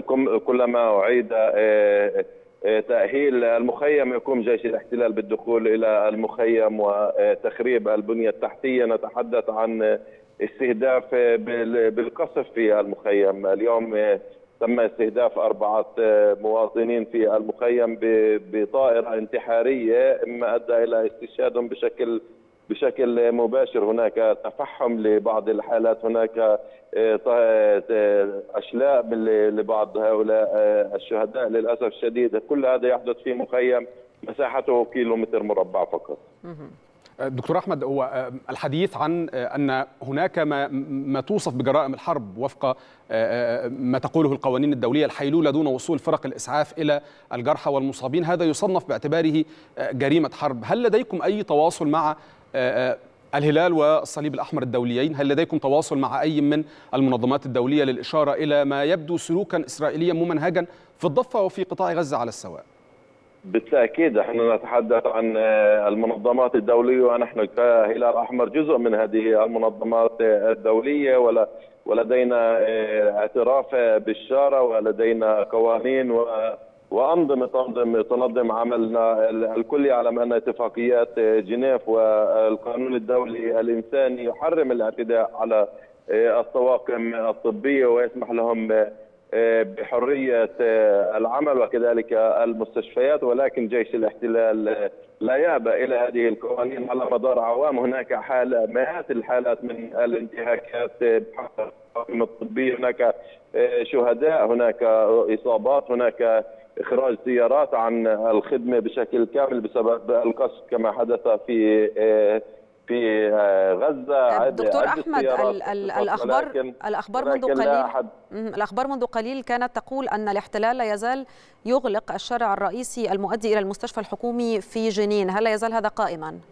نعم صحيح. المستشفى الحكومي بشكل كامل هناك إحاطة لهذا المستشفى. يمنع دخول سيارات الإسعاف إلى المستشفى إلا في حالة تفتيش دقيق إذا تمكن الطاقم من الوصول إلى المنطقة. نحن نستعين بالمستشفيات الأخرى الآن من أجل سرعة الوصول إلى الإصابات وإيصالها إلى المستشفيات. ولكن كذلك الأمر في محيط المنطقة بشكل كامل أي سيارة إسعاف يتم إيقافها من قبل جيش الاحتلال وتفتيشها بشكل دقيق. قبل قليل تمكنا من الوصول إلى شهيد في منطقة عنين هو بعيد عن عن المخيم واثناء نقله تم ايقاف سيارة الإسعاف ما يقارب عشر دقائق وتفتيشها بشكل كامل من قبل جيش الاحتلال وبعدها تم السماح لها بالوصول إلى مستشفى ابن سينا. دكتور أحمد الحديث عن كل ما يجري الآن في جنين وأقولها من واقع خبراتك السابقة على الأقل هل تقول بأن هذا مقدمة لتصعيد أكبر إسرائيلي على مستوى الاستهدافات على مستوى التضييق على فرق الإسعاف؟ أقول من واقع الخبرات السابقة كما عهدتها في الضفة وفي جنين تحديدا. يعني جيش الاحتلال يمارس هذه الاعتداءات بحق الطواقم الطبية على مدار أعوام كثيرة. نحن نتحدث منذ عشرين عاما. قبل هذا قاموا بقصف سيارة إسعاف داخل مخيم جنين استشهد على طريقة مدير الإسعاف والطوارئ في مركز الهلال الأحمر بجنين نتيجة قصفه بصاروخ أدى إلى احتراق السيارة بشكل كامل. استشهد الطبيب الدكتور خليل سليمان وأصيب اثنين من الطاقم لا زالوا في حالة حروق شديدة. وهذه استمرت إلى اعوام أخرى وكل يوم هناك انتهاك لقوات الاحتلال الطواقم الطبية ولكن نتحدث بعد 7 أكتوبر زادت الانتهاكات والاعتداءات بحق الطواقم الطبية. يتعامل معنا جيش الاحتلال بعنجهية وباستهداف بشكل مباشر. كل الضفة الغربية اليوم هي مقطعة أوصال على حواجز الاحتلال. يقوم جيش الاحتلال بإهانة والاعتداء على الطواقم الطبية، كل هذه الانتهاكات مسجلة بشكل كامل لدى المنظمات الدولية ولكن للأسف الشديد لا يوجد ردع لجيش الاحتلال من استهداف هذه الطواقم. دكتور أحمد هل القصف الآن في هذه الأثناء هو مكثف على مخيم جنين؟ بالتأكيد هناك قصف وهناك إطلاق رصاص يعني على المخيم تحديدا على المخيم المنطقة المحاصرة هي مم. مخيم جنين يتم إخراج الشهداء بطريقة النقل الميداني من خلال الفرق الميدانية التي تعمل داخل المخيم. أيضا هناك أناس لا زالوا محاصرين يعني نتحدث عن متطوعين لدينا غرف عيادة عيادة متنقلة في داخل المخيم من أجل تقديم العناية الطبية للمرضى في داخل المخيم. هي الآن محاصرة ولا نستطيع إخراجها إلى الآن من داخل المخيم، المخيم بشكل كامل محاصر ويتم استهدافه بالقنابل وبالصواريخ وبالطائرات الانتحارية التي يستخدمها جيش الاحتلال. مؤخرا هذه الطائرات التي تسبب قتل لمن يتم الاستهداف بها. يعني هناك آخر فترة الشهداء في مخيم جنين أغلبهم من طائرات انتحارية يستخدمها جيش الاحتلال في داخل هذا المخيم الذي هو بالأصل كثافة سكانية في مسافه في مساحة كيلومتر مربع. شكرا جزيلا لك الدكتور أحمد جبريل مدير مرفق إسعاف الهلال الأحمر الفلسطيني هذه ربما بعض اللقطات كما نتابعها وكثافة الدخان عن الصورة التي تظهر من مخيم جنين عن أقصى يمين الشاشة في الجانب العلوي منها هذه غزة اذا وقلنا لحضراتكم أن الصورة قد تبدو ملبسة في أوقات كثيرة بالنسبة للكثيرين لأنه ما جرى في جنين على مدار ساعتين متتاليتين لا تبدو فيه الصورة مختلفة تماما عما يجري في غزة. هذا المستوى من التصعيد الإسرائيلي هذه الكثافة غير المسبوقة ربما في ساعات النهار التي تقوم بها طائرات الاحتلال الإسرائيلي في مدن ومحافظات قطاع غزة المختلفة في مخيماتها وفي أكثر من موضع. حتى الجنوب الذي كان يفترض أنه وفق الرواية الإسرائيلية هو الأكثر امنا وهو الذي يتعين على الراغبين في أن يلوذوا بالفرار أن يأمنوا على أنفسهم وعلى حياتهم. في مناطق الجنوب أو جنوب وادي غزة كما تعرف أو تصنف. هذه المناطق في حد ذاتها أيضا لم تكن بعيدة بحال من الأحوال عن التصعيد الإسرائيلي. بين قوسين هو أيضا غير المسبوق على مدار ساعات هذا اليوم. آه الآن أحمد أيضا نستقبل الدكتور وسام بكر مدير مستشفى جنين الحكومي. دكتور أهلا بك معنا. الأخبار كانت تقول منذ قليل أن قوات الاحتلال تقطع الطريق على من يريد الوصول إلى مستشفى جنين الحكومي. هل هذا صحيح؟ وما التفاصيل الآن؟ أيوه دكتور هل تسمعني؟ أو أعيد عليك السؤال مرة أخرى الأخبار كانت تقول أن قوات الاحتلال تقطع الطريق على من يريد الوصول إلى مستشفى جنين الحكومي هل هذا صحيح وما الذي يحدث الآن؟ دكتور وسام هل تسمعني؟ طيب يبدو أن هناك مشكلة في التواصل مع دكتور وسام بكر وهو مدير مستشفى جنين الحكومي. على أي حال سنعاود التواصل معه مرة أخرى ولكن في هذه الأثناء نشاهد هذه اللقطات الحية التي تأتينا الآن من قطاع غزة. أحمد لا تبدو الصورة واضحة من كثرة ألسنة الدخان التي تتصاعد ثم ننتقل بالصورة مرة أخرى إلى جنين وتصاعد كذلك للدخان الأسود وهذا القصف الإسرائيلي المتواصل. الأخبار كانت تقول أن مخيم جنين تحديدا هو محاصر بالكامل عدد الشهداء ربما يصل إلى 14 شهيد حتى الآن وكذلك عدد أو ثمانية شهداء عفوا وعدد المصابين ربما يتعدى 18 مصابا. كانت هذا آخر ما قالته لنا مراسلتنا من الضفة الغربية منذ قليل. ولكن كما نشاهد في هذه الصور القصف الإسرائيلي متواصل العنف الإسرائيلي متواصل على جنين تحديدا. مدير مرفق إسعاف الهلال الأحمر الفلسطيني كان معنا منذ قليل وكان يحدثنا عن صعوبة الأوضاع حتى سيارات الإسعاف كانت تستهدف عند محاولتها الوصول لنقل المصابين وكان هناك عملية حصار كاملة للمخيم تحديدا الأوضاع. على سيارات الإسعاف وأشار حتى إلى أن ضابطة إسعاف كانت في سيارة إسعاف وتلقت رصاصة وهي لا تزال حالتها حرجة حتى هذه اللحظة. ليس الأمر فقط يتوقف عند حدود الحيلولة دون وصول سيارات الإسعاف إلى الجرحى والمصابين لكن حتى الاستهداف المباشر العمدي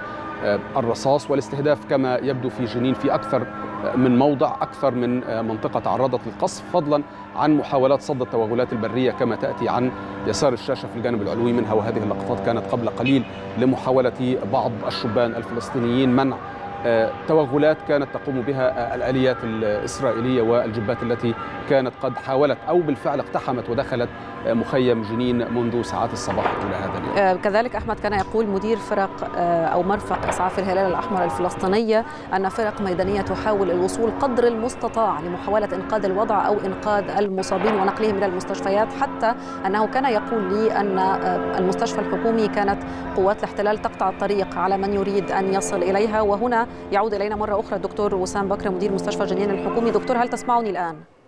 سامعك سامعك صحيح. ما الذي يحدث الآن؟ يعني ما زالت قوات الاحتلال تحاصر المستشفى وتمنع وصول سيارات الإسعاف والحركة من المستشفى وخارجها. إيه بلغ عدد الشهداء حتى هذه اللحظة تسع شهداء وستة عشر جريح. بعد الإصابات في حالة الخطر هناك استهداف ليقوم الإسعاف بشكل مباشر. هناك ضابطة إسعاف تم إصابتها برصاص في الظهر. هناك استهداف للصحفيين. أحد الصحفيين استهدف أيضا بشظايا في القدم. حقيقة الوضع ما زال يعني في مرحلة تصعيد وهنالك ما زلنا نسمع أصوات الانفجارات وإطلاق النار في محيط المستشفى. دكتور وسام الحديث عن أن فرق الإسعاف ممنوعة تقريبا بشكل عمدي من الوصول إلى الجرحى والمصابين.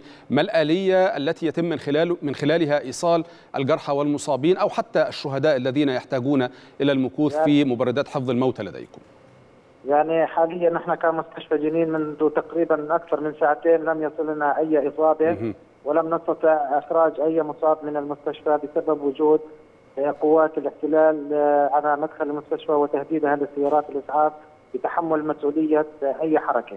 يعني هي حتى هناك, محاولات لمنع الوصول من على بوابات المستشفى نعم عند مدخلها. نعم هناك تم تهديدهم وطلبوا منهم لسياره أحد سيارات الهلال بان فقط الصليب الأحمر هو المسموح له بالحركة علما أنه لا يوجد في جنين أي سيارات للصليب الأحمر الموجود عندنا هو الهلال الأحمر. طبعا يعني هناك بعض يعني مستشفى جنين هو محوصرة بسبب وجوده قريب من المخيم لكن بساعة سيارات الإسعاف استطاعت نقل بعض المصابين إلى مستشفيات ابن سينا والرازي الموجودة ضمن المحافظة. دكتور أصلا كيف يبدو أوضاع أو وضع المستشفى هل لديكم مستلزمات طبية وأدوات طبية كافية وما إلى ذلك؟ يعني حتى هذه اللحظة إحنا من ناحية المستلزمات والمستهلكات موجودة وإنه يعني كنا قد جهزنا المستشفى لمواجهة مثل هكذا اجتياحات وحتى لو كانت طويلة يعني لدينا من المستلزمات وإحنا بتواصل مع وزارة الصحة لدعمنا في المزيد لكن ما يشهده المستشفى الآن من وضع استثنائي هو الاضطراب الموجود بسبب حصار المستشفى من المراجعين ومن الطلاب التمريض والطب المتواجدين كانوا أصلا يوم اعتيادي كانوا في المستشفى. فتشعر الآن كوريدورات المستشفى مليئة بالمراجعين وفي المواطنين وبعض أيضا اللاجئين من المخيم بسبب القصف الموجود هناك. دكتور وسام هذا هذا هو أعلى مستوى من التصعيد أو الحصيلة الأعلى خلال يوم واحد على مدار أيام التصعيد الإسرائيلي على الضفة الغربية. صحيح صحيح. حالات الإصابة هل بدت لك مختلفة عما كان حاصلا في أوقات التصعيد الإسرائيلي على مدن الضفة وعلى جنين تحديدا؟ يعني إحنا بالاجتياحات الاخيره بدأ استخدام واسع للطائرات والصواريخ لاستخدامها باتجاه المخيم واتجاه مدينة جنين. فنجد جزء من هذه الإصابات نتيجة قصف صاروخي طبعا تأتينا بطريقة يعني إصابات بليغة جدا ومتعددة. والشهداء يأتون أيضا يعني بصعوبة التعرف عليهم. بعضهم بيكون عبارة عن اشلاء وضياع لملامح الشهيد بسبب شدة القصف. دكتور وسام في ظل استهداف حتى سيارات الإسعاف وإعاقة وصول الطواقم الطبية وما إلى ذلك لا أحد حتى الآن يصل إلى المصابين؟ لا هناك كما أسلفت يعني إحنا م. كمستشفى جنين هو المستشفى هو محاصر م.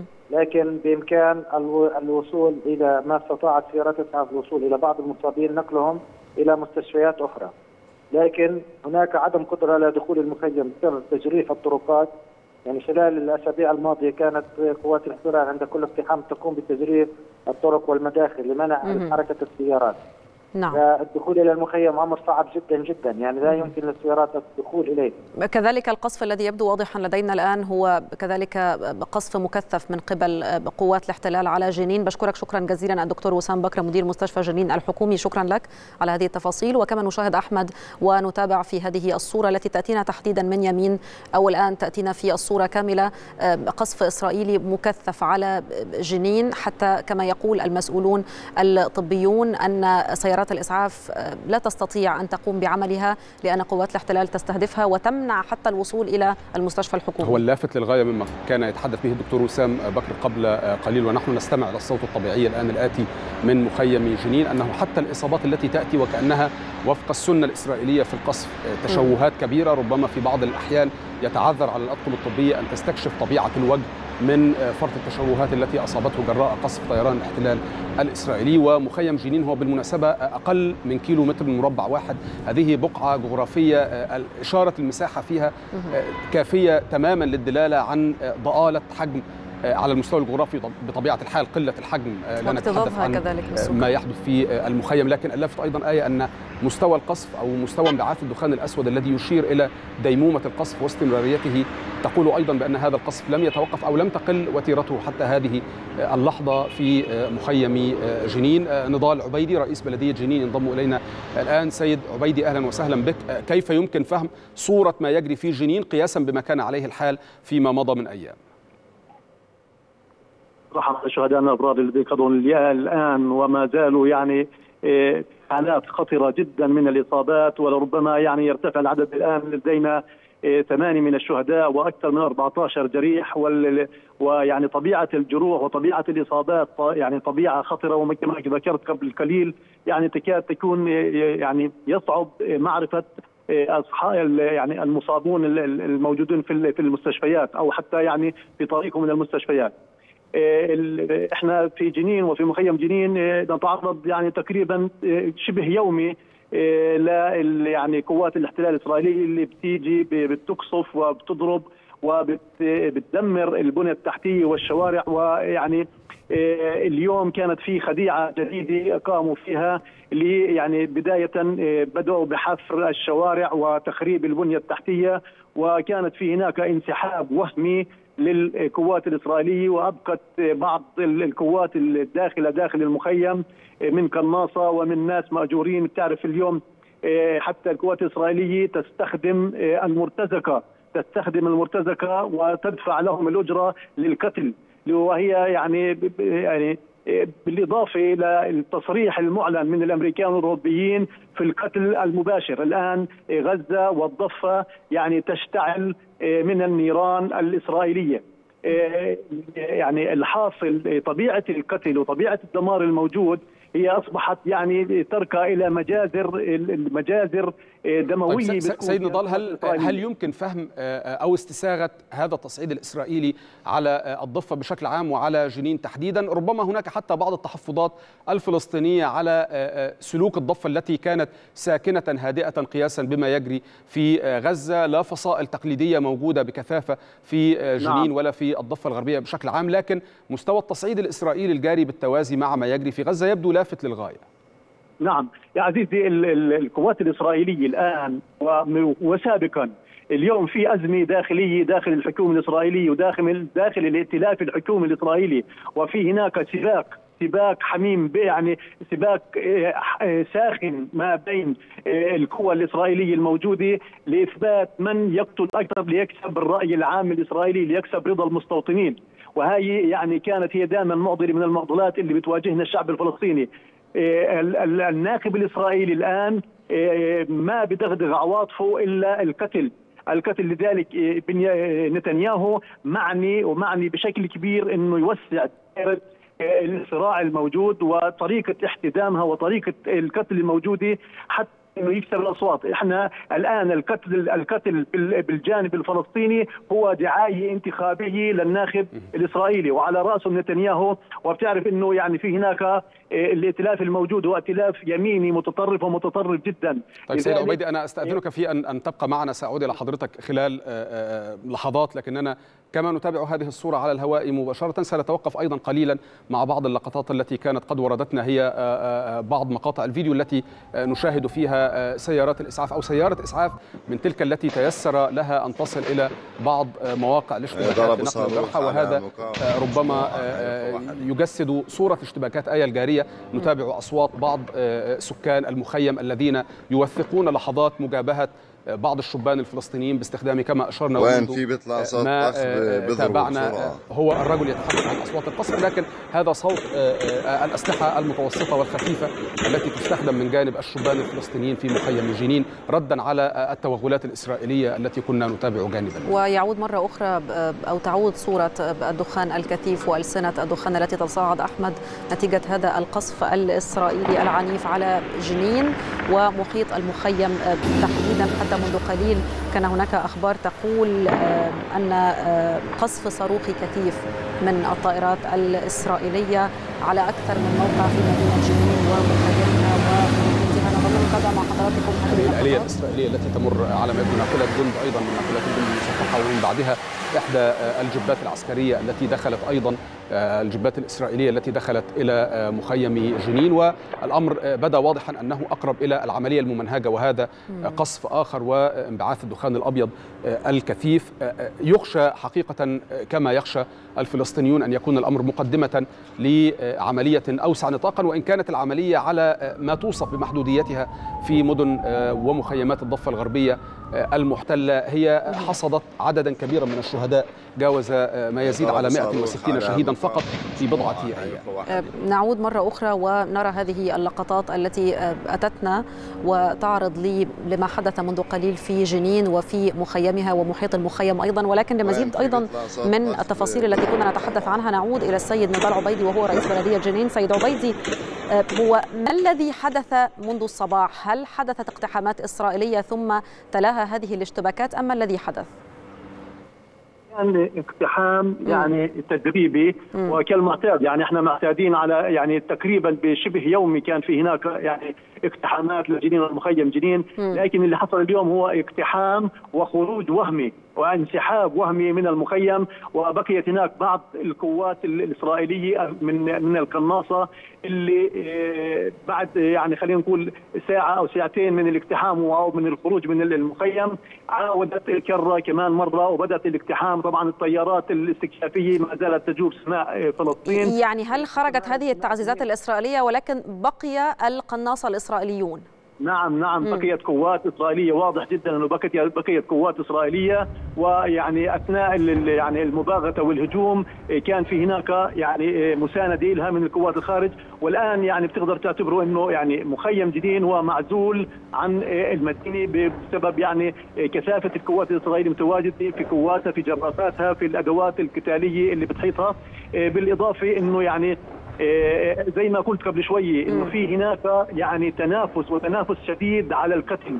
لكي يثبت أي مسؤول إسرائيلي إنه مدى حجم القتل موجود. وبالمناسبة يعني الإسرائيليين بإمكانهم أن يعني تكون في هناك تهدئة طفي وبامكانهم يعني اللي هي تصعيد العمليات العسكرية وتصعيد الجبهة الموجودة داخل يعني جنين ومخيم جنين. اليوم هو عنوان لعمليات الإبادة الموجودة حتى إنه يرضوا الناخب الإسرائيلي والمستوطن الإسرائيلي. طيب مدير المستشفى الحكومي منذ قليل كان يقول أن المستشفى محاصرة، هل لديك معلومات عن المستشفيات التي تعمل يستطيع على الأقل المصابون أن يتجهوا إليها؟ مستشفى جنين الحكومي وهو ملاصق يعني وهو بداخل تقريبا المخيم جنين على أطراف المخيم جنين.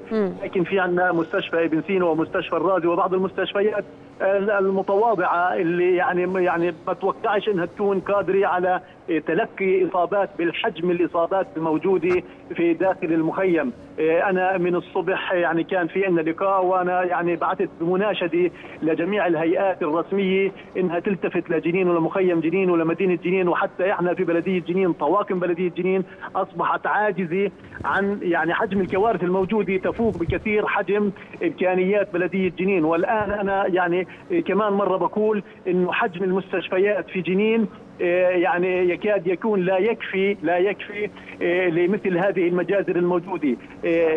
جنين يعني تحت الحصار جنين تحت الرماد وجنين عمليات الإبادة وعمليات القتل اللي تعرض لها المواطنين أكثر مما تتخيل. ويعني أنا سمعت قبل شوي الأخ الدكتور وسام وهو يحكي إنه فعلا حجم الإصابات وطبيعة الإصابات طبيعة خطرة ويعني تكاد تكون يعني معظمها مميتة. معلش أخيرا دكتور أخيرا سيد نضال عبيدي نعم. هذا المستوى من التصعيد الذي استتبع بعد ذلك بتوصيف حالات الإصابة بأنها غير مسبوقة وحجم التشوهات فيها قد لا يتيح نعم. التعرف على هوية صحيح. أصحابها هل هذا جديد واستثنائي فيما يخص العدوان على جنين أم إن شيئا ما مماثلا حدث قبل ذلك أنا بدي أحكي شغله إنه القوات الإسرائيلية الآن بتحاول تغير شكل المفهوم الفلسطيني شكل الوعي الفلسطيني شكل التعاطي مع المقاومة ومع الاحتلال ومع كل هاي المسائل حتى تثبت إنه يعني بدها توحي للفلسطينيين إنه الآن في طريقة مختلفة، الآن في حرب مختلفة، الآن الأدوات اختلفت، الآن حجم القنابل اللي بتلقيها القوات الإسرائيلية اختلف. هو بدها يعني تفهم الإنسان الفلسطيني إنه القادم هو الأصعب والقادم هو القتل والقاتل هو الدمار. لذلك الآن نشاهد فعلا في هناك تصعيد وتصعيد واضح من القوات الإسرائيلية بطبيعة الهجوم بطبيعة الأدوات المستخدمة أدوات القتل المستخدمة ضد الإنسان الفلسطيني الموجود على الأرض. شكرا جزيلا لك نضال عبيدي رئيس بلدية جنين. نحن سنتوقف قليلا الآن لنتابع هذا الجانب من لقطات وصول بعض المصابين والجرحى الذين قدر لهم أن يصلوا إلى بعض مستشفيات جنين لتلقي العلاج. وهذه كما فهمنا من المتحدثين الذين كانوا معنا خلال الدقائق القليلة الماضية هذه فئة محدودة للغاية تلك التي تيسر نقلها إلى المستشفيات لأنه ومنذ ساعات الصباح كانت سلطات أو كان جيش الاحتلال يحول دون وصول سيارات الإسعاف. أصلا بينما كان العبء الأكبر ملقى على عاتق المسعفين الميدانيين وبعض الجهود الذاتية التي من خلالها تمكن بعض الفلسطينيين في جنين من نقل مصابيهم وجرحاهم إلى المستشفيات.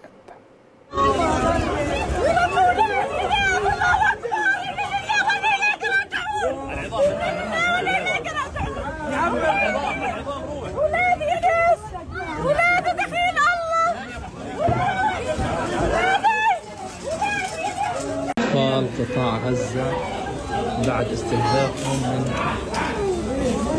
الاحتلال الإسرائيلي هذا واحد مين اللي واحد؟ هذا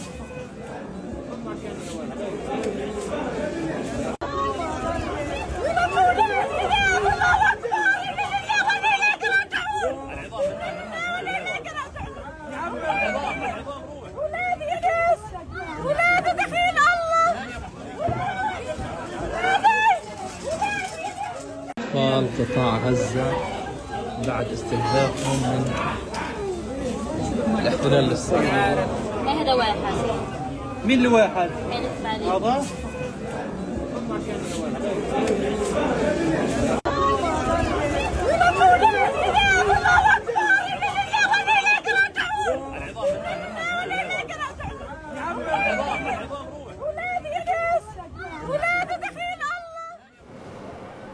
لا تختلف الصورة إذا فيما يحدث في جنين نقل المصابين. وهذه الصورة الأخيرة على ما يبدو لبعض المصابين الذين نقلوا إلى مستشفيات غزة أو إلى بعض مستشفيات غزة التي لا تزال قادرة على تقديم خدماتها الصحية بعدما تيقن خروج جانب من مستشفيات قطاع غزة أصلا عن الخدمة. كل الفلسطينيين مستهدفون إذن إما بقصف مستعر على مدار 34 يوما مع محاولات توغل بري مخفقة حتى هذه اللحظة في قطاع غزة أو على ضوء موجة التصعيد الجارية في مدن ومحافظات ومخيمات الضفة الغربية التي كان آخرها ما كنا نتابعه من تصعيد إسرائيلي جار في مخيم جنين. وقبل ما كنا نتابعه أحمد في مخيم جنين أو في محيط المخيم كنا نتابع كذلك القصف الإسرائيلي المتواصل على قطاع غزة ومناطق متفرقة من قطاع غزة ولكن الآن تعود هذه الصورة ويعرض لنا الزملاء هذه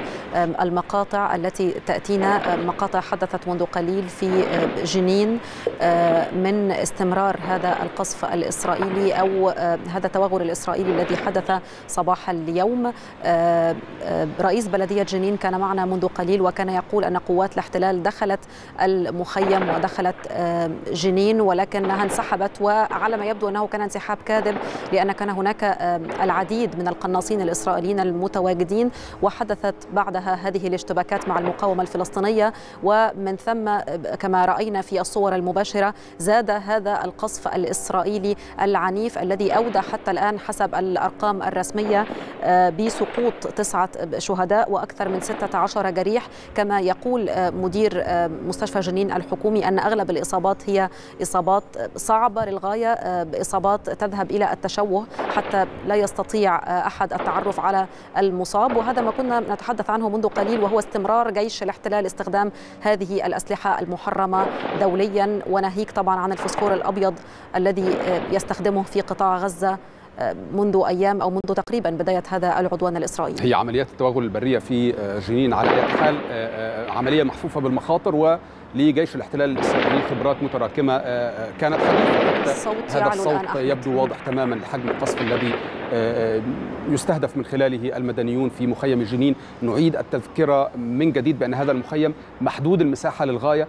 مكتظ بآلاف السكان المدنيون في أغلب الأحوال لا وجود فصائلي لا وجود فعلي لمقاومة منتمية لفصائل فلسطينية تقليدية وإنما بعض المستقلين بعض غير الفصائليين الذين كانت بينهم وبين قوات جيش الاحتلال مناوشات واشتباكات بالأحرى على مدار الأشهر القليلة الماضية التي كنا نشير إلى صعوبة عملية الاقتحامات والتوغلات البرية المباشرة من جانب آليات الاحتلال الإسرائيلي لأن التعامل معها كان مكلفا للغاية وحتى شهرين ماضيين كانت استهداف إحدى الجبات العسكرية الإسرائيلية التي كانت بمثابة الانتكاسة الكبرى كما وصفت في وسائل الإعلام الإسرائيلية لأن العملية بأكملها جرى إرجاؤها بعد هذا الاستهداف. أحمد نريد أن ننوه إلى أن القصف يشتد الآن كما تبدو من هذه الصور من ألسنة الدخان التي تتصاعد هذا الدخان الأسود الذي لا يفارق سماء جنين وكذلك من الأصوات التي تردنا بين الحين والآخر القصف الإسرائيلي يشتد على جنين.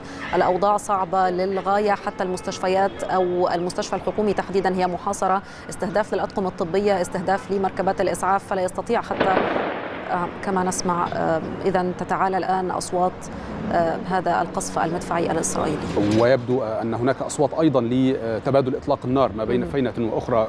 كنا قد أشرنا وتابعنا حتى في الصور التي عرضت قبل قليل لمحاولة التعامل مع محاولات الاقتحام لمخيم جنين عبر مجموعة من الشبان الفلسطينيين الذين كانوا يمسكون ببعض الأسلحة النصف أوتوماتيكية وبعض الأسلحة المتوسطة إلى الأسلحة الخفيفة في محاولة لصد عمليات أو محاولة الاقتحام التي كان يتحدث رئيس بلدية جنين قبل قليل بأنها انسحبت بعد ذلك الآليات الإسرائيلية لكنها أبقت على بعض قناصتها الذين يقول أن الجانب الأكبر أو الاحتمال الأكبر ألا يكونوا أصلا إسرائيليين لكنهم من المرتزقة الذين جرى تجنيدهم لمثل هذا الغرض. سنتابع مستجدات ما يجري تماما كما لن يفوتنا ما نتابعه كذلك في قطاع غزة والتصعيد غير المسبوق الذي يجري اليوم وكأن هناك شيئا ما يدور ربما على الأقل وفق ما يدور في مخيلتي وفي أذهان صانع القرار في الحكومة الإسرائيلية موجة تصعيد غير مسبوقة تابعناها ولا زلنا نتابعها وسنتوقف أيضا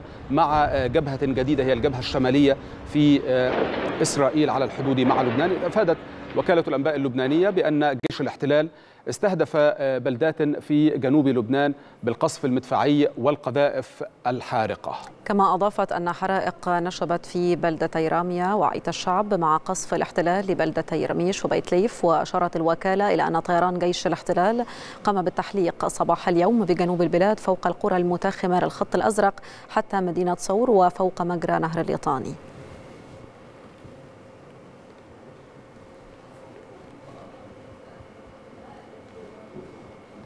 أحمد سنجاب مراسلنا على الهواء مباشرة ينضم إلينا من العاصمة اللبنانية بيروت. أحمد ماذا في خارطة التصعيد الجاري عند النطاقات المختلفة للحدود الجنوبية اللبنانية؟ كنا تابعنا ما أوردته وسائل الاعلام اللبنانيه عن استهداف حبيبيب في القطاع الأوسط عند الحدود والآن ربما أصبح الجليل كذلك جرى استهدافه. ما الذي يدور هناك؟ نعم تحياتي لكم في البداية هناك بالفعل تصعيد في القطاع الغربي والقطاع الأوسط من الحدود الجنوبية اللبنانية.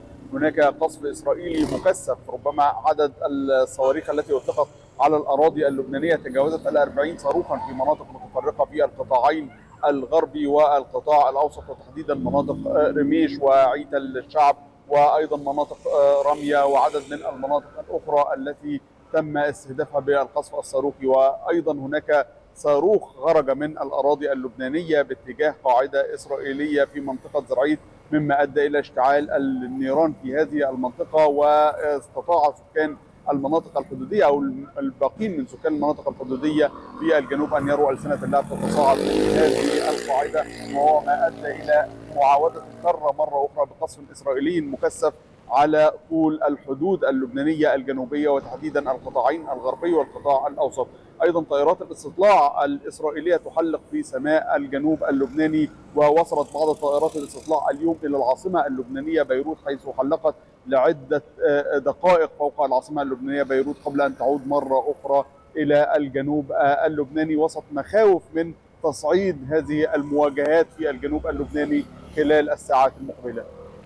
أحمد حدود هذا التصعيد مختلف عما جرى خلال الأيام الماضية خلال الأسابيع القليلة الماضية لأنه حتى نفس النطاقات بنفس المدن والبلدات التي كانت حاضرة في موجات التصعيد هي نفسها تقريبا التي تستعرضها ريت الشعب علم الشعب بعض المناطق حتى في مزارع شبعة هي نفسها تقريبا ما الذي اختلف في هذا اليوم عما كان حاضرا في الأيام والأسابيع الماضية؟ المختلف في التصعيد على مدار الأيام الثلاث الماضية هي نوعية الأسلحة المستخدمة سواء من الجانب اللبناني أو أيضا من الجانب الإسرائيلي وأيضا مناطق الاستهداف سواء في الجانب اللبناني وأيضا في الجانب الإسرائيلي. مناطق الاستهداف باتت أقرب لمساكن المدنيين في من قبل إسرائيل في الجنوب اللبناني وهو ربما أدت إلى نقطة تحول رئيسية في المواجهات على طول الحدود الجنوبية اللبنانية قبل قرابة ثلاثة أيام حينما تم استهداف سيارة مدنية واستشهد ثلاثة أطفال وأيضا سيدة كانت في هذه السيارة. فهذه الحادثة هي نقطة تحول في الصراع أو في التوتر على الحدود الجنوبية اللبنانية بين الجانب اللبناني والجانب الإسرائيلي. بالأمس أيضا المقاومة الإسلامية في لبنان أعلنت استهداف تمركزين للجنود وهذا وهذه هي المرة الأولى التي يتم استهداف فيها تمركزات مباشرة بأسلحة مباشرة لهذه التمركزات. وأيضا الجانب الإسرائيلي رد بقذائف عنيفة خرجت عن إطار قواعد الاشتباك المتعارف عليها خلال الأسابيع الماضية من المواجهات على الحدود الجنوبية، نستطيع أن نقول أنه خلال الأيام الثلاثة الأخيرة هناك قواعد جديدة للاشتباك بين الجانب اللبناني والجانب الإسرائيلي تفرض على أرض الواقع سواء في دائرة الاستهداف التي كانت لا تتجاوز 7 كيلومترات من الحدود أو حتى في الأسلحة وهذا يقود إلى السؤال حول ما إذا كانت المساحات التي تم إخلاؤها أو المواطنين اللبنانيين الذين جرى إجلاؤهم. هل اختلفت وتيرة هذا الإجلاء؟ هل هناك نية لتوسيع نطاق القرى التي سيتم إجلاء بعض سكانها؟ بالتأكيد وهناك العديد من المواطنين الذين غادروا مناطق عديدة في الجنوب اللبناني حتى خارج المناطق التي دارت فيها الاشتباكات على مدار الأسابيع الماضية. نتحدث الآن عن أكثر من 45 ألف نازح من الجنوب اللبناني ولا تزال ما يمكن أن نسميه حربا في الجنوب اللبنانية لا تزال دائرة الحرب محصورة بالمدن أو بالشريط الحدودي بين لبنان وإسرائيل. هذا العدد 45 ألف نازح من هذه المناطق وعدد كبير جدا وفقا لقدرات أو الحجم الاستيعابي لمدن الجنوب اللبناني. أي نعم هناك العديد من مراكز الإيواء ولكن مراكز الإيواء غير قادرة حتى الآن على استيعاب هذه الأعداد. هناك مواطنين تبرعوا بأماكنهم وتبرعوا بأماكن إقامة لعدد من النازحين من المناطق الحدودية هناك أيضا من نزح إلى العاصمة اللبنانية بيروت أو مدينة صيدا عاصمة الجنوب اللبناني ولكن هناك مخاوف من تمدد أو زيادة الضغط من قبل النازحين في حال تمددت المواجهات المفتوحة والمباشرة بين الجانب اللبناني والجانب الإسرائيلي خلال الأيام المقبلة. وكان هناك زيارة هامة لمبعوث أو موفد أمريكي من قبل الرئيس الأمريكي جو بايدن إلى لبنان قبل يومين وربما الهدف الأساسي من هذه الزيارة هو الحديث عن نقطة التحور الرئيسية التي حدثت في المواجهات بين الجانبين اللبناني والإسرائيلي على طول الحدود خلال الأيام الماضية وما عقبها من حالات نزوح واستهداف للمدنيين لأن هذه الأمور في حال تطورها ستكون هناك أزمة كبيرة بين الجانب اللبناني والجانب الإسرائيلي منفصلة عما يحدث في غزة. لا قد نتوقف عند عند عند عند سلوك أو مساعي هوكستين أحمد. لكن أنت أشرت إلى اختلاف شكل الأسلحة المستخدم من الجانبين. هل كان الأمر مرتبط فقط ب الأسلحة المستخدمة من الجانب الإسرائيلي المسيرات وما تحمله التي تدخل إلى بعض النطاقات أو القطاعات في الحدود مع لبنان أم أن الأمر كذلك كان مرتبط حتى بردات الفعل من الجانب اللبناني على مستوى الأسلحة المستخدمة أسأل بالتأكيد كان مرتبط أيضا برده الفعل من الجانب اللبناني، الجانب اللبناني والمقاومة الإسلامية في لبنان استخدمت ولأول مرة هذا الأسبوع المسيرات التي تحمل كميات كبيرة من المتفجرات واستهدفت بها عدد من الأهداف داخل وحدات عسكرية إسرائيلية. أيضا كانت كتائب القسام قد أعلنت أنها أطلقت من الأراضي اللبنانية أكثر من 16 صاروخا استهدف إحدى المستعمرات الإسرائيلية واحدثت هذه الصواريخ إصابات بالغة لأن هذه الصواريخ لم تستخدم من قبل في المواجهات على الحدود اللبنانية الجنوبية. أيضا استخدام الأسلحة المباشرة واستهداف الجنود عن بعد هذا الأمر أيضا لم يكن معتادا في المواجهات على مدار الأسابيع الماضية أو وفقا لقواعد الاشتباك السابقة. وبالتالي قواعد الاشتباك الموجودة على الأرض حاليا هي تفرض أسلحة جديدة وتفرض نطاقات جديدة واستهدافات جديدة سواء من الجانب اللبناني أو الجانب الإسرائيلي. أحمد كنت يعني استوقفتك عند زيارة المبعوث الأمريكي إلى لبنان ومحاولة تبريد الأجواء إذا جاز التعبير أو احتواء موجة التصعيد عند هذا الحد وفقط مع جولة أيضا قام بها رئيس حكومة تصريف الأعمال نجيب ميقات. نعم في الزيارة للمبعوث الأمريكي عموس كشتين إلى العاصمة اللبنانية بيروت هي زيارة مفاجئة وجاءت في أعقاب استهداف إسرائيلي للسيارة المدنية التي كانت تقل عدد من المدنيين وأدى إلى استشهاد ثلاثة من الأطفال وأيضا سيدة وإصابة سيدة أخرى بجروح خطيرة. أيضا استهداف سيارة تضم مسعفين مما أدى إلى إصابة أربع مسعفين. هذا الأمر كان كفيلا باشتعال الجبهة اللبنانية الجنوبية وبالتالي تزامن هذا الأمر وهذا التصعيد غير المسبوق بزيارة سريعة للمبعوث الأمريكي الذي التقى رئيس حكومة تصريف الأعمال اللبنانية ورئيس مجلس النواب اللبناني وأيضا قائد الجيش اللبناني وعدد من المسؤولين اللبنانيين في زيارة استمرت ليوم واحد فقط. الهدف الأساسي من هذه الزيارة هو إرسال رسالة أمريكية تقول أنها لا تريد للبنان أن يدخل في حرب وحرب مفتوحة ومواجهات مفتوحة مع الجانب الإسرائيلي كما أيضا أن أمريكا تدعو إلى التطبيق الكامل لقرار مجلس الأمن الدولي عام 2006 وهو القرار 1701 والخاص بوقف إطلاق النار بين الجانبين اللبناني والإسرائيلي على طول الحدود المشتركة بينهما. فبالتالي أيضا كان هناك رسالة مهمة وهي تقديم التعازي من قبل الإدارة الأمريكية في وفاة المدنيين على الحدود اللبنانية الجنوبية. وهذه كانت رسالة رئيسية ورسالة هامة أن أمريكا تتضامن مع لبنان في استشهاد عدد من المدنيين على الحدود وكأنه نوع من أنواع الاعتذار الذي تتقدم به نيابة عن إسرائيل سنتابع على حدود حدود ما قد يجري من تصعيد أحمد هل سيحتوى الأمر الأجواء. عند هذا الحد أم لا؟ أشكرك على اي حال أحمد سنجاب مراسلنا على الهواء مباشرة من العاصمة اللبنانية بيروت. شكرا جزيلا لك. تابعنا اليوم وصول طائرة مساعدات سعودية إلى مطار العريش تمهيدا لنقلها إلى قطاع غزة. وفي هذا الإطار وردنا هذا اللقاء الخاص مع سامر القطيلي المتحدث باسم مركز الملك سلمان للإغاثة والذي رافق طائرة المساعدات. نتابع. اولا نحن نتشرف أن نكون على أرض الجمهورية جمهورية مصر العربية في هذا اليوم. بحمد الله عز وجل انفاذا لتوجيهات خادم الحرمين الشريفين. الملك سلمان بن عبد العزيز حفظه الله وولي العهد انطلقت الحملة الشعبية لمساعدة الأشقاء الفلسطينيين في غزة وبحمد الله عز وجل كان خادم الحرمين الشريفين وولي عهد الأمين أول من ساهم في هذه الحملة بكرم وجود وسخاء وكذلك بحمد الله عز وجل أفراد المجتمع المعطاء كذلك ساهموا في هذه الحملة. بحمد الله عز وجل هذا العطاء أثمر وها نحن ذا نرى أولى طائرات الجسر الجوي تصل إلى جمهورية مصر الشقيقة وبالتحديد مطار العريش.